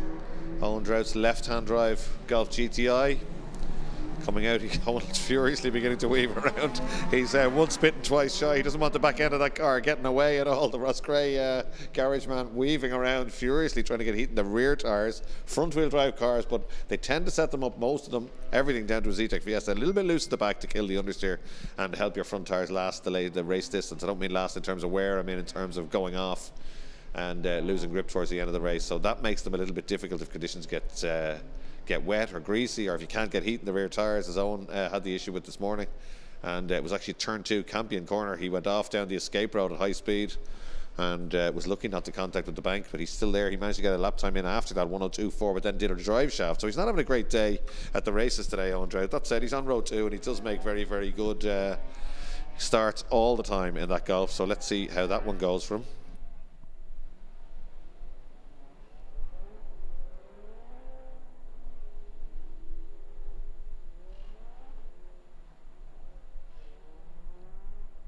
So there's our grid and the lap times 59.902 for Cian Walsh, 59.998 for Rob Savage late on in qualifying. Then David Flynn in the white Integra 101.162, Owen Drought 102.444 but didn't complete qualifying. Uh, he was towed back in. Then Stuart Curran 103.364, Colin Morris 488, 4088, Stephen Martin 104.594, Ryan Striker 105.736 and then it's Ian Striker 107.049 and Michael Clune, former Fiat racer from many moons ago, in a beautiful little CRX Honda at the back of the grid 114.119, just shaking that car down really. So uh, Cian Walsh, you went really well last year. That car is absolutely immaculate. If you're here today, it's worth having a look at the front two cars. Very impressive bits of kit, beautifully turned out, and that was a great lap early on. We're midway through qualifying from Cian Walsh to get into the 59s. Apparently, he was in the 59s in testing yesterday. Was the talk of the paddock. It's difficult to get a, a touring car under the minute, but it's been done before. In fact, uh, when the BMW M3s were winning this championship a few years ago, I think they were fairly regularly under the minute. But uh, some of these Hondas highly developed. Conditions weren't perfect this morning, so they could probably go quicker again. We'll keep an eye on that. So it's an all Honda front row. It's Cian Walsh and Rob Savage. David Flynn in third place. Owen Drought on the second row of the grid. We want to say hello to Niamh Lawler, to his partner, who's having a bad run at the moment. We're wishing her back to full health. She's watching this apparently from uh, Mercy Hospital in Cork. So, uh, Niamh, I hope you're going to enjoy this one. Let's see if you can do his usual standing start. I think it's beginning to rain. You know, if they got wipers on down there, they have. And they're not lined up anywhere near their grid slots either. So there'll be a little bit of uh, rearranging to do. Certainly, this, the first two have gone well beyond their grid slots, whereas the second ones are right on their marks.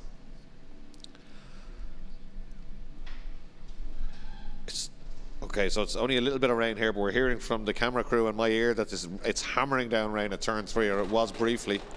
They're going to let them go from those grid positions, and they do. And it's the pole man who gets away. Owen Drought doesn't make his usual dragster start. They're all clear away, though. Cian Walsh and Rob Savage side by side down to turn one. Walsh it is from Savage. Flynn next up. Then Drought. Then Stephen Martin trying to have a go on that beautiful Castrol liveried Integra, looking to go around the outside of the Golf there. But uh, Poleman getting away. In fact, I think that's Flynn up to second place, is it? We'll have to see when they sort themselves out. It's certainly Cian Walsh leading. Very wet here. Just watch for the back end of the cars breaking away. Could happen really easily here with no yellow flags being waved just yet down there. They've all managed to keep it together. I think Flynn's up to second. Where's Savage gone? We're only seeing the leader. There's Flynn in second place. There's Savage dropped back to third place in the Accord. Then it's Drought. Curran Morris Martin. Let's see if uh, if Savage can get back up there. It's obviously been a little bit of a messy first lap. There's been a little bit of shuffling around as they come back towards us. There's Rob Savage with the lights on. Drought wipers on in the Golf. The Tire Brigade Honda right on the back of the Golf there and looks a little bit uh, better through the turn, but the Golf's got plenty of straight line speed. Well, Stuart Curran fastest through the speed trap by a lot, 165.2. Next up, Rob Savage, 162. Nobody else in the 160s at all. So fastest car by a long way through the speed trap is uh, Stuart Curran, who's behind uh, Owen Drought. It's car number seven. I don't think the leader's getting away too much. He had fastest lap by a long way, but that gap's closed down, I think, now. Certainly, uh, David Flynn looking very good in the white Integra. The black bonnet, he was very impressive in a couple of runs last year. Not on uh, full slick racing tyres when he was in the uh, touring class. He still had to go with some of the bigger cars. He's looking uh, very good here, trying to get back up to this group behind. Gap back then to Drought, who's been pursued by one, two, three Integras, a Civic and a CRX. Oh, sideways stuff from Michael Clune. He's off in the background at the S's. Around he goes. Just out of shot. There is going to be a change to the lead, is there? They're all closing up. It's very difficult. It's gotten very windy out there again. See the camera moving around just a little bit. They head down towards turn one.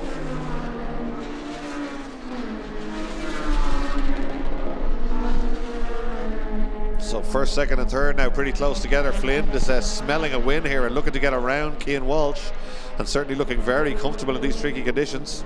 Cleared again down to turn three. We did say we were going to get all the seasons with that wind.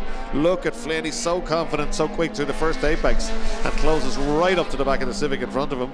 And they all get hard on the power back up the hill. Honda's first, second, and third in this one. A big gap back then to Owen Drought.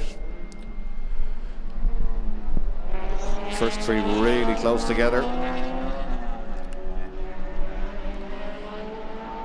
Coming down to complete for three laps in this one. Still 11 minutes, 12 minutes to go, so it's going to be a long race. Up over the inside curb for uh, Cian Walsh. Savage looking to get a run. Look at Savage, supposed to be huge power in this car. He pulls out and gets alongside the Integra. Savage has got the car up to temperature now. He locks a wheel, though, locks it a couple of times as he has a look down the outside. But I think uh, Rob Savage was waiting until he had a bit of temperature in the tires before he began to push. Great exit from the last corner and so much power on the main straight. Just pulled out. He's going to do it again. He eases up alongside the Integra, but he's on the outside, out of shot on the way to turn three. No, he's got it done before the first apex. He's up to second place. And I think Cian Walsh will be looking in the mirrors going, oh no, here comes Savo. Because Rob Savage up to second place and looking very, very strong at this stage of the race in the Campbell Motorsport Honda Accord. Oh, he gets it way out of shape. He must have heard me. Gets the touring car, hops on the way and Lucky to stay out of the barrier. Oh, and lucky to stay out of the Integra. That could have been very messy. That's probably worth a look back at if we get a chance. Wow, just got the hops and uh, held on to what I was just saying. He looked smooth and composed. He was anything but coming down into the S as the back end of the car got away and then it started to hop around on him. It didn't look nice at all, but he did uh, pull it back straight and stand on the power. So it's obviously not uh, completely dry just yet. But that said, Cian Walsh has just done a minute point seven. It's less than a second off his pole time. So he's getting down there. It's So second and third still together, but Flynn back up to that, to that second place.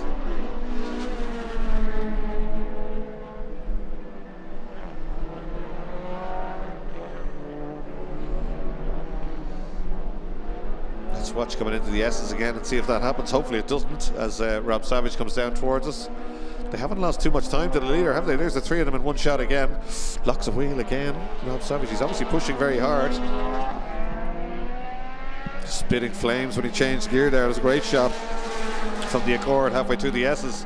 Man on the move once again seems to be Flynn now. He's got away from uh, Savage. Drought beginning to get a little bit more settled. He's got away from the Hondas behind and his uh, lap times have come down. So let's have a look. Walsh clearly quicker than anybody though. 102.3 for Walsh. Flynn quicker that time round.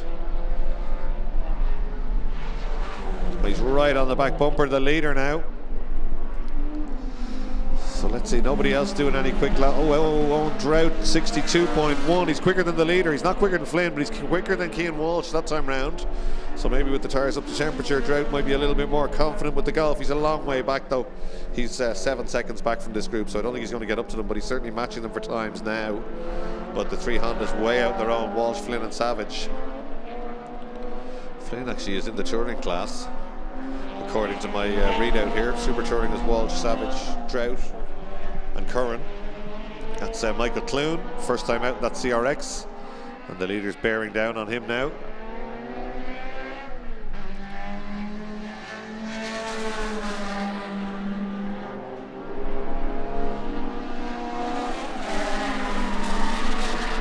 Leader goes through 61.052, 61.4 for Flynn. 61-1 for Savage, who gets out of shape. Our waves yellow's already down there. It's Michael Clune off in the CRX. There we go. So it's his second time off in this one. He's been off down at uh, at the S's already.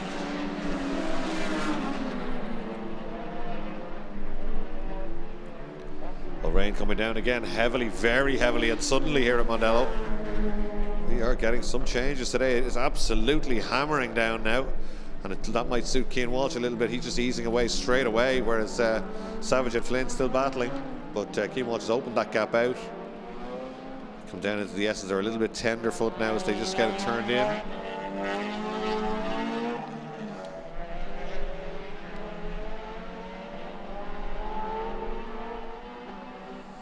Yeah, he's well ahead now. He's obviously more confident in these wet conditions. Cian Walsh hasn't made any mistakes today so far. Staying away from the curbs. Comes out onto the main straight. Seven minutes still to go, just half time in this one. These three Hondas well clear of anybody else. Time's way out 107, 108, and 107 last time round. Seven seconds slower than they were the previous lap. That'll show you what difference the rain, the rain makes. 110 for Owen Drought. So conditions way, way back out there. He'd done a 102 last time round, eight seconds for him, and 11 for Stuart Curran, 11 for Stephen Martin, and 11 for Ian Striker.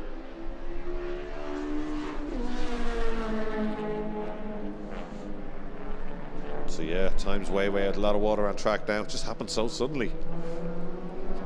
It looks clear here, but I'm looking out through the windows of the commentary box and I uh, can barely see out towards where they are now. On the S's through Bridgestone corner on the left and Nordic Spirit corner on the right. This time Campbell, or sorry, Campbell, the Campbell Motorsport car Rob Savage trying to get up the inside and he gets it. No, it doesn't quite get it done. Flynn uh, goes in later on the brakes and sits around the outside, but we know how much power that Honda has in a straight line, the, the uh, Accord, so let's see if he can do anything. Flynn knows it as well and goes to the inside. Here comes Savage down the outside, but he surely won't be able to get it stopped if he's going to have a go down the outside here. They've both closed the leader down that time round. Oh, Flynn with a massive, massive sideways moment. He hangs on to it, but that allows the uh, Accord to just blast by him. They both have to get on the brakes for turn two, which you might think is unusual, but uh, you don't want to be going in there on a trailing throttle, and it is very, very wet out there. Very slow lap for Drought, that time at 114.1. Hailstones coming down now on the balcony outside the commentary box. Oh, it's really bad conditions. This is uh, thunderstorm stuff out there.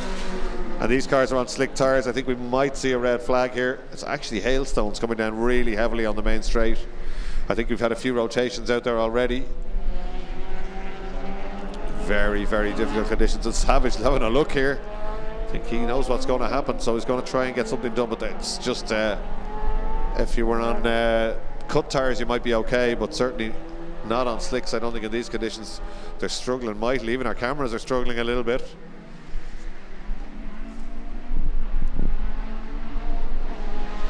So the three Hondas still together coming towards us. Time's out to 112, so 11 seconds slower than they had been doing.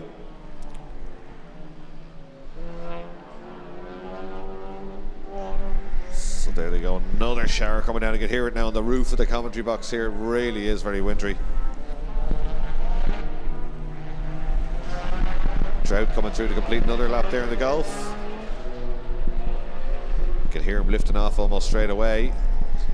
Car looks uh, pretty much unstable. They all do a little bit, don't they? They're doing well to keep these cars on track. We haven't of a couple of half spins. Just when I say it, the leader goes sideways. Oh, he hangs onto it so well. These guys are really good at steering a front wheel drive car. That uh, didn't even seem to slow him much. I think uh, for a fraction of a second there, Rob Savage thought he was going to get the lead, but uh, he carried that speed beautifully. There's Drought, who's still going nicely, but he's having a lonely race. He can't uh, can't stay with these three, but he's left everyone else well behind.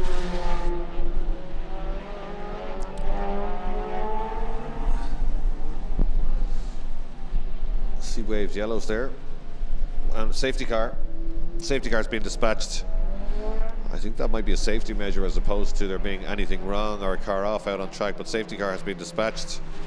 So it's Walsh, Savage, Flynn and Drought, top four, then Striker, Curran, Ryan Striker, Stephen Martin and Michael Clune all still running.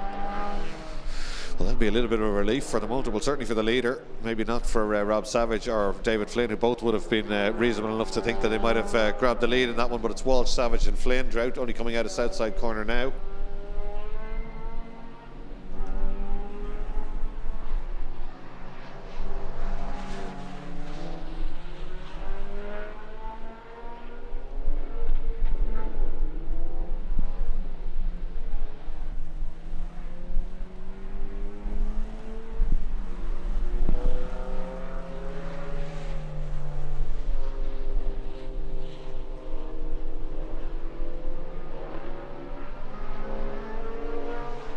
Red flag is out, race going to be stopped, and uh, probably a good decision with three minutes to go. I just think conditions, uh, ironically enough, of course, it's gone bright again out over turn three, but uh, I think there's just too much standing water there to be out on slicks.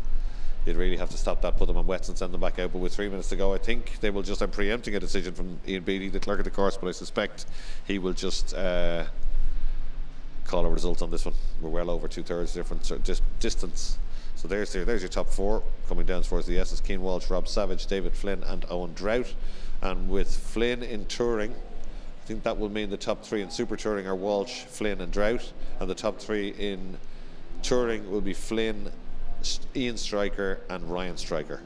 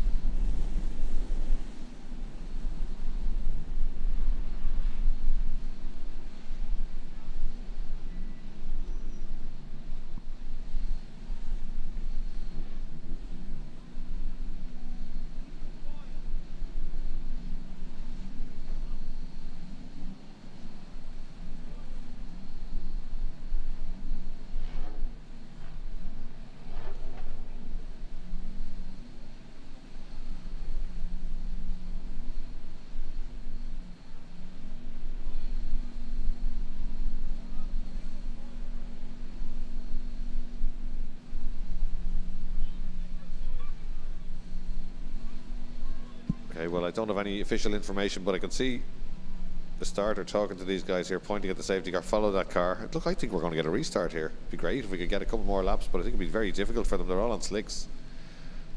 The rain has stopped, but uh, we just saw the volume of rain that came down.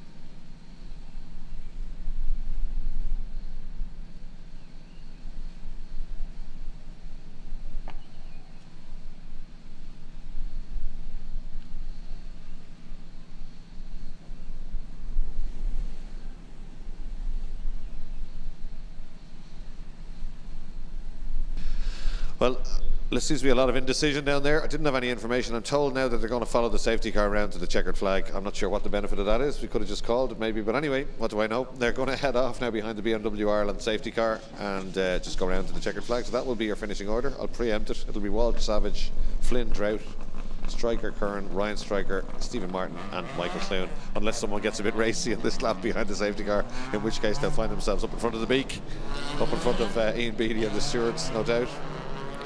They head away. Well, maybe I have wrong information because the drivers certainly would not be warming their tyres if they're going to go uh, go to the checkered flag. Maybe they think they're going to go racing. The clock has started, and it's got two minutes twenty on it. So if they get round, let's watch the lights on the safety car. That's probably the best indicator here. If the lights go off on the safety car, we're going racing. So we're watching the safety car now coming through Campion Corner. Just goes out of shot briefly. But certainly, Cian Walsh is weaving around as if he's going to go racing, as is Savage. They all are, in fact.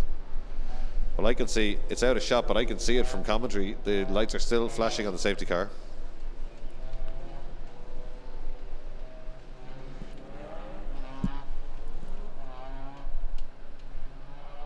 Yeah, it, looks like they're going to go by the checkered flag uh, behind the safety car. The safety car is stopping now and waiting for them still with the lights on. So the safety car is, uh, I'd be 90% sure it's not coming back in. I'm sorry for the speculation. I don't have any, uh, I, I, I don't have the full info there.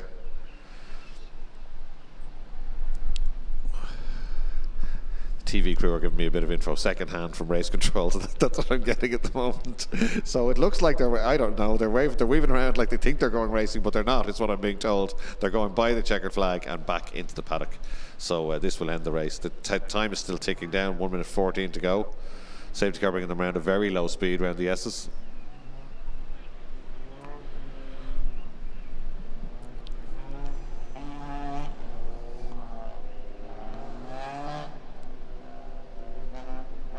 So there you go. The Lights are still on the safety car. If it was coming in, the lights would be off by now and it would peel off now into the pit lane on the left of your screen. It's not doing that. Checkered flag is prepared below me. I can see the starter.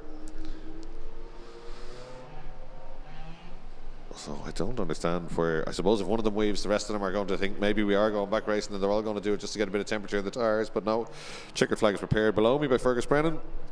And that's how it's going to end.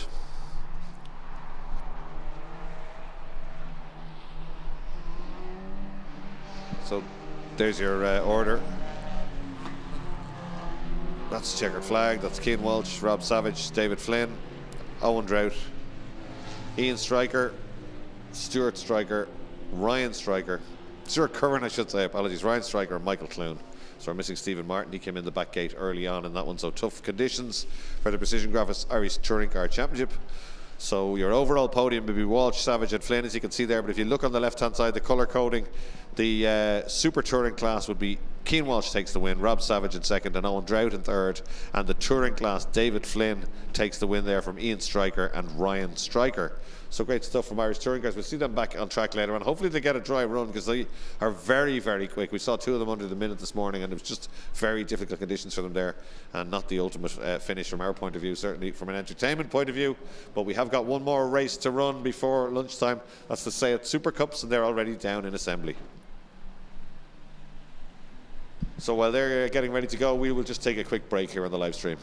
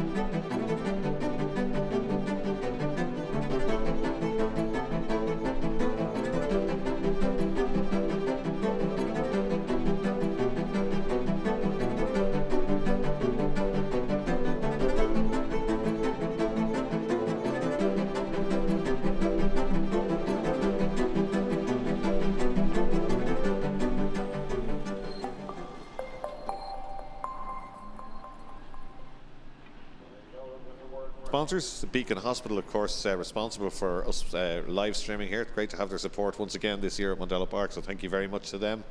A state of the art uh, hospital in South County Dublin. Of course, they also sponsor the LOH Motorsport cars of Michael Cullen and Victor Cullen. Very successful year for them last year.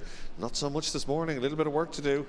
Uh, Michael Cullen did win the two striker races yesterday. We struggled a bit in the Fiesta STs, and that's not like him. So I'm sure they're uh, furiously working in the LOH awning down there in the paddock at the moment try and get some more info on that during the lunch break, which is coming up just after this one. But this is the Seat Super Cup Ireland class, factory built touring cars.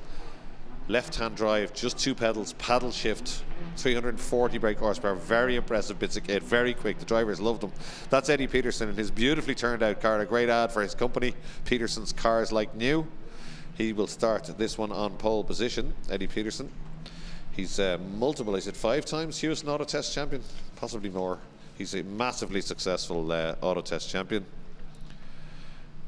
58.024 this morning, just about ahead of Shane Murphy, the former multiple champion in this class and former world hot rod champion.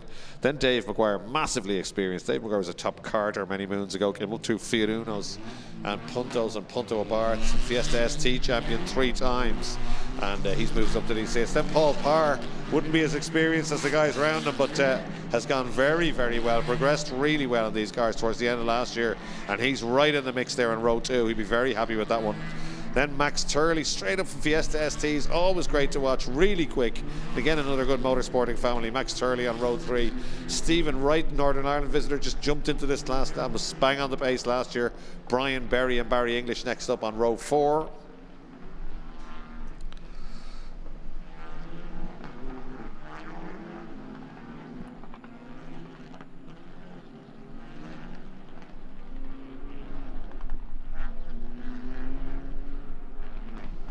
Paul O'Brien on uh, row five, Gary Corcoran, Adrian McNally, and Stephen Marr. The last three of those being run by uh, Dave O'Brien. who's a former, is he a champion? He's a multiple winner in, uh, in Irish touring cars before. Dave O'Brien, quick driver, running these cars from his uh, part of his Porsche specialist business in Dublin. DOB Sports Cars. That's the ex, uh, probably still the Sam Mansfield car, but certainly been driven now by Paul O'Brien, not the POB Racing Paul O'Brien, the other Paul O'Brien, who's another ex uh, ITCC racer in a Volkswagen Scirocco many moons ago. Well able to steer, but uh, has been thrown into this car, hasn't had that much running, so we'll uh, keep an eye on him as the season progresses. I'm assuming they're all on wet tyres. We'll know quick enough when they get going if there's anyone on slicks because they'll certainly struggle initially in this one. You can see them kicking up spray, which will always tell us that there is standing water there. Plenty of warm-up laps anyway ahead of this race. So wait, two warm-up laps they're getting before they line up with Eddie Peterson and Shane Murphy on the front row. That car, Paul Parr car, superb graphics on that, looks really well. It's 142 Paul Parr. Here's Brian Berry weaving around the yellow and blue car. Barry English alongside him. Barry English, another former oval racer, very quick. Races with the elbows out.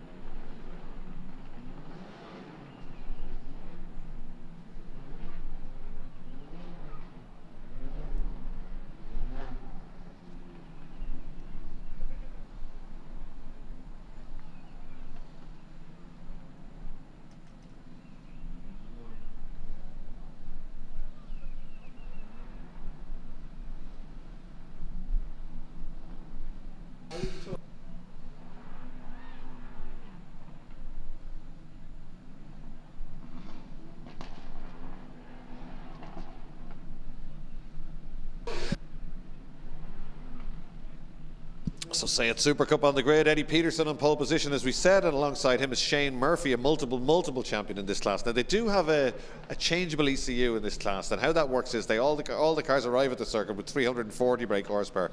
But if you get pole position, you get 300. Second place 320, third place 310. Same in the first race. That's how you'll start race two. So it pegs them back just a little bit and uh, that always makes it extremely interesting. But it is very wet. Peterson has great car control. Dave McGuire with an absolute belter of a start, and he's almost helping Eddie Peterson down towards turn one. McNally goes through shot there, and who's this on the outside? Shane Murphy so late on the brakes. He outbrakes McGuire. He gets side by side with the leader, but McGuire tucks back to the inside. It's Peterson, but who's going to be second? It's there for the asking. I think McGuire's gone around the outside.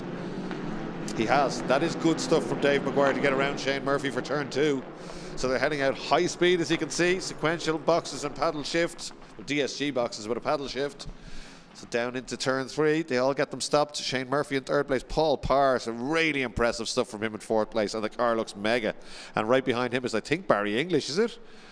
Keep an eye on that as they come back towards us. I think that's Barry English ahead of uh, Young Turley. That's what it looks like. Here they come out of the S's. You'd want to keep the shoe in there. These cars would be really taily if you lift off. But Eddie Peterson, great car control. He's done a bit of rally crossing as well uh, in his in his previous history, as well as loads of um, auto test wins. And he's driving away here. McGuire in second, but Murphy fancies that place, doesn't he? And here comes Turley side by side on the outside. Parr being uh, crowded now by Barry English and Max Turley. That's a good first lap by English.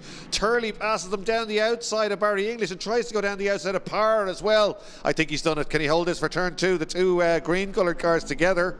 Paul Parr and Max Turley. Max Turley's on a massive charge here. I think he's done it, has he? Let's see who it is. They come back into the graphic, just covering them over as we go by. It's Turley.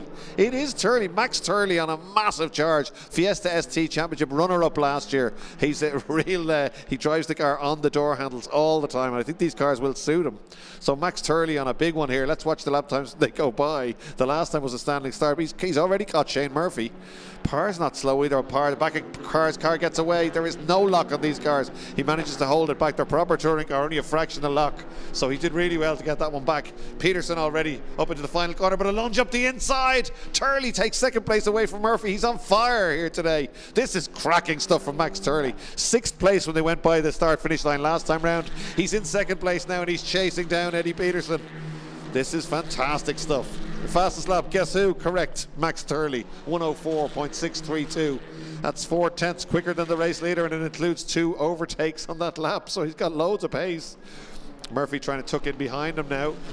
Shane Murphy, hugely experienced family team run that car. And in fact, Turley goes wide, puts a wheel off, and Murphy takes it back. All the good work is undone again. And meanwhile, Eddie Peterson will be grinning, looking in his rearview mirror at this one.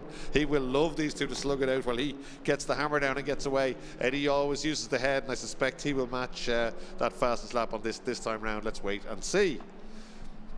They're coming back down towards us into the main arena again by the Beacon Hospital signage. Peterson, Murphy, Turley, and Parr the order. There's Parr in fourth place.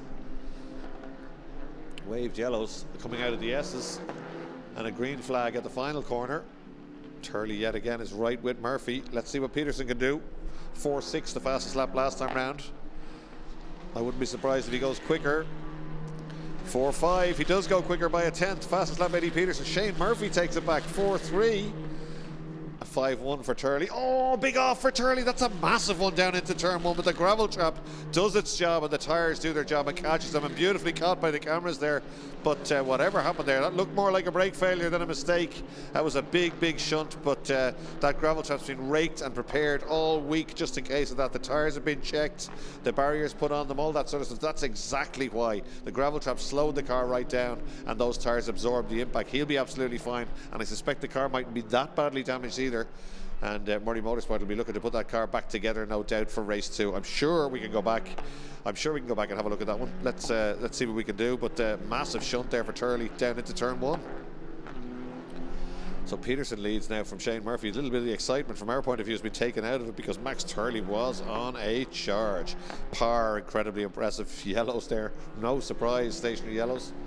No safety car required. The car's way off down into the gravel, or into the gravel and out to the edge of the barrier. So should be absolutely fine.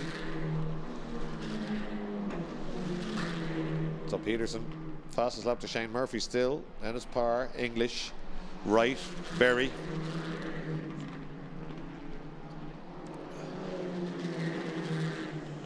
Adrian McNally's come up a couple of places, the rally man. Then Dave McGuire. not sure where Dave McGuire lost uh, all the time. Peterson by two seconds is the order now.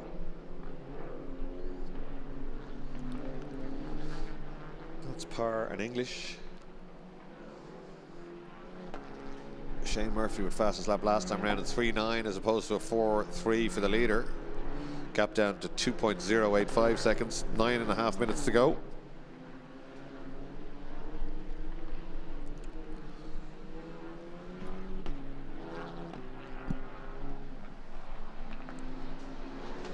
So the guys are on the case here. I think we're going to be able to go back and have a look at this. Uh, just get ready for this. Is the high-speed incident for Max Turley coming down into turn one. Here he goes. That's it down the outside. Was there contact there? I'm not so sure. Oh, that front wheel definitely disconnected on the way. We're slowing it right down. Look at that. The front suspension breakage. That's what it was. So obviously just no braking, no steering at all there for Turley. Great capture from the cameras to get that one, but uh, a little bit scary, but the track well prepared for stuff like that and uh, caught the car beautifully, slowed it right down and then just absorbed the impact at the very end. So he'll be fine. I'm sure he won't be happy with it. He was uh, absolutely on a charge, but uh, great footage of that incident there. So the order now is Eddie Peterson. Safety car is out. Safety car is out. Eddie Peterson from Shane Murphy, Paul Parr, Barry English, Stephen Wright, Brian Berry, Paul O'Brien, Stephen Marr, Dave Maguire, and Adrian McNally is the order.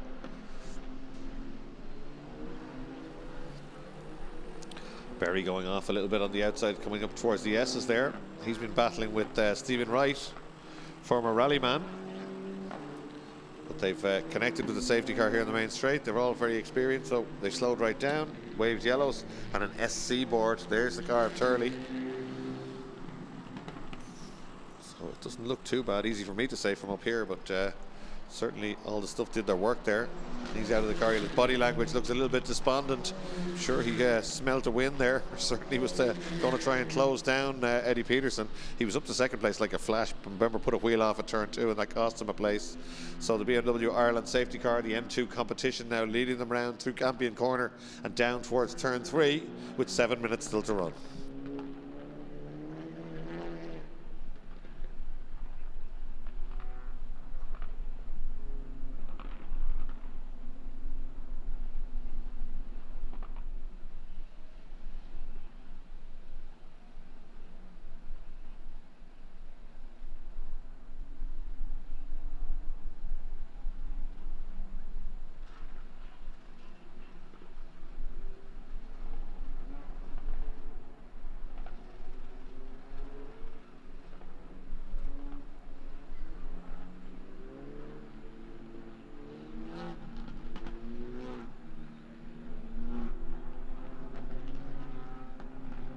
So lights still flashing on the safety car.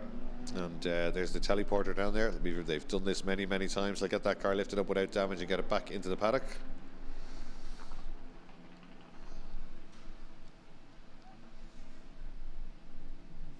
Motti Motorsport crew will be waiting for that one. They've got a large selection of spares and plenty of mechanics here, and they'll go to work straight away. Say it's not out again until 20 past four. So if, if it's fixable, I'm sure they'll get it done. Fast slap still standing to Shane Murphy before the safety car intervention, but uh, I think that car will be gone. In fact, it's probably gone already.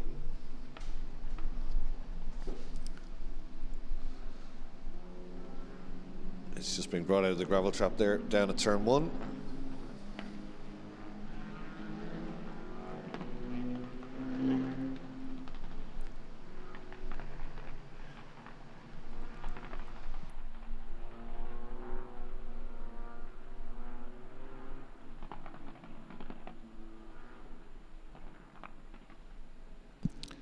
So safety car slowing down now because they're in contact with race control. I think race control are aware that that car is almost cleared. There seems to be a little bit of damage to the barrier, but I think it's just the uh, think it's just the coating on the tires down there. The tires are still where they need to be. Just that uh, white plastic uh, bannering, for want of a better word, that was across them. I could see it out of the commentary box window and down towards turn one. In fact, the lights are off in the safety car. We're going back racing with five minutes to go in this one, and that's closed them all up, which is great from our point of view. Eddie Peterson, not so much, but from our point of view, we'll get it'll be highly entertaining. Just hope they all keep bunched up. You always get uh, less experienced drivers. Sometimes don't do that, but you need to be right on the bumper now. You can give away a couple of seconds here very easily.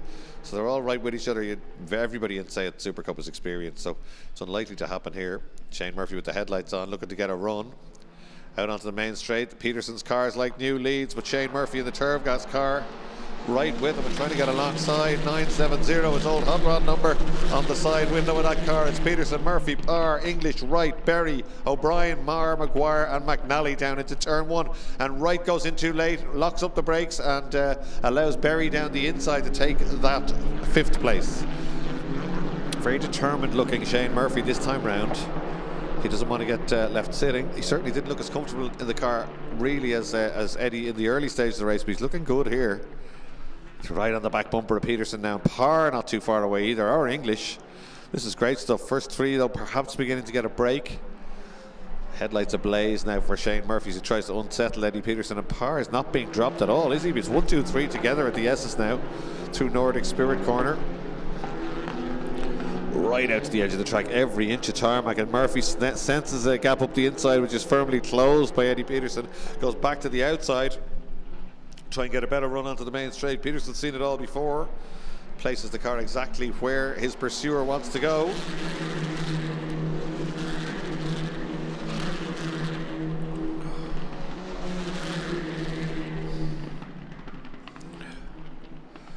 First three still together. Paul Parr hanging on to these two in front. Then English Berry and Stephen Wright. And Paul O'Brien now hanging on to this crew. He's done his fastest lap, even though they started behind the, from the safety car runoff. He's done his quickest. So he's done a 105.013. Paul O'Brien is hanging on to that group of English Berry and Wright in front of him now. Here they come down towards the main arena.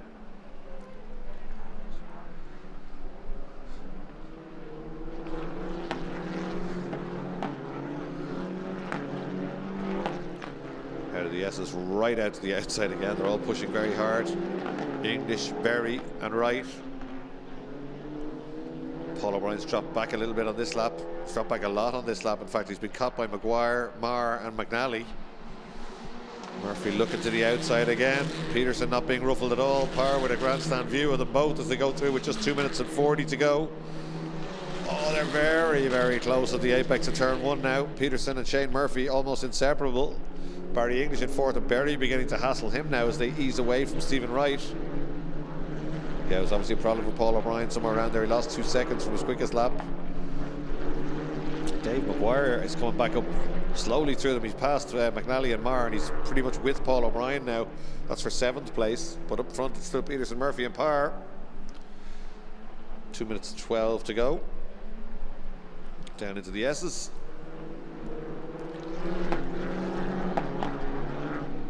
He's worked hard for this one, Eddie Peterson, if he can hang on for the win. I haven't seen any mistakes just yet. He's very calm with his uh, defence here.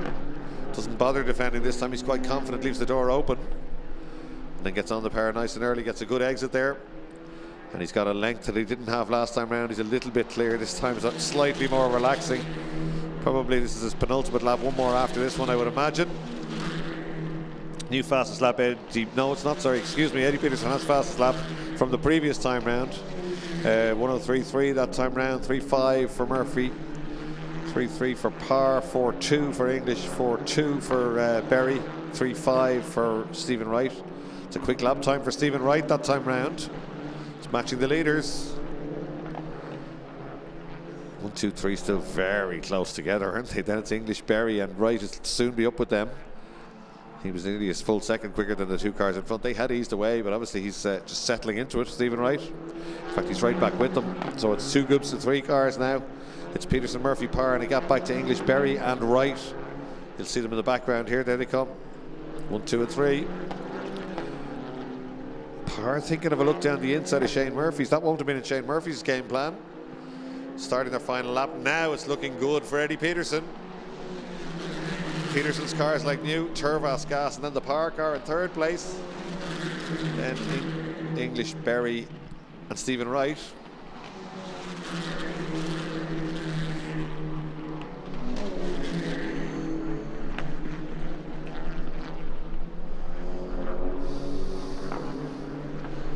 Wheel off for Peterson is a mistake, and round the outside, brave stuff goes Shane Murphy, and uh, gets the door shut at the first apex. That was good stuff from him. Might have to have a look at that one, but we won't look at it just yet because we're on the final lap and the lead has changed. I thought Peterson was home and hosed, but absolutely not. A wheel off, I think, on the exit of turn two. Just slowed him enough for Shane Murphy to get alongside, and Murphy kept it pinned down the outside in the greasy conditions and went round the outside into turn three. And Peterson looked like he was going to have a go back, but uh, Murphy got the job done. Murphy goes very defensive here. Might slow him a little bit on the way out. Peterson tries to get a run on him as they come down to the checkered flag. A great race from, Seat Super Cup Ireland. Shane Murphy takes a win. Peterson second, and an incredibly good performance from Paul Parr there in third place. Barry English holds off Berry and the charging Wright in that group. And next up, another group of cars go through. It's POB, it's Paul O'Brien from uh, Dave McGuire, Stephen Marr, and Adrian McNally all crossing the line together. So good stuff all the way down the grid there. We're missing Max Turley and Gary Corker. We're missing Gary Corker. He, he went out on the first lap somewhere. So there's your graphics. There's the brake horsepower as well they had. So that's interesting. Shane Murphy with 320. Eddie Peterson only had 310. Paul Parr 340. Everyone else 340, 340, 340. So that'll shuffle again before the start of the next race. But great stuff from Seat Super Cup Ireland. Some new cars and new drivers, and they'll all look absolutely fantastic. And they, ladies and gentlemen, will be back on track at. Uh, let me have a look. See when their second race is. Uh, Seat Super Cup race 22, 6, uh, 16, 20, 20 past 4. So we're going to go back and have a look at that uh, move for the lead because we only really caught, well, I only really caught the uh, the end of it. The, the, mistake had already happened. Let's have a look. It's coming out of Campion Corner, the corner named after John Campion. Oh, he went very wide. Look at that. He was in the air. We might watch that again. He was in the air when we came into shot there. Eddie Peterson went very, very wide. Watch this. Let's go right back. Okay, great shot coming through Campion, through the dip, out of view. He goes wide here. Look, it goes off on the outside. Little bit of Dukes of Hazzard there. Gets a little bit of air. All we're missing is the, the Dixie air horn from Eddie Peterson there. And look at the commitment of Murphy down the outside. I mean, you would expect nothing less from Shane Murphy, but that's uh, he could have lifted off and tucked in behind him again for second place. No way. He kept it pinned around the outside, and that's exactly where the car will get out of shape on you. So that's a great move. Unfortunate and a very rare mistake from Eddie Peterson, but certainly uh, great stuff from Shane Murphy to take full advantage and steal the win on the final lap of the opening Seat Super Cup Ireland race. Absolutely fantastic stuff. That's us uh, done for lunchtime. We'll be back with the Siltec Safety Fiesta Zetec Championship. Don't miss that. It's the biggest grid of the day, and it will always give us great entertainment. So we're back with that shortly. Just a quick lunch break, and we'll be back live here at Mondello Park from the Infinite Energy ICCR, thanks to the Beacon Hospital.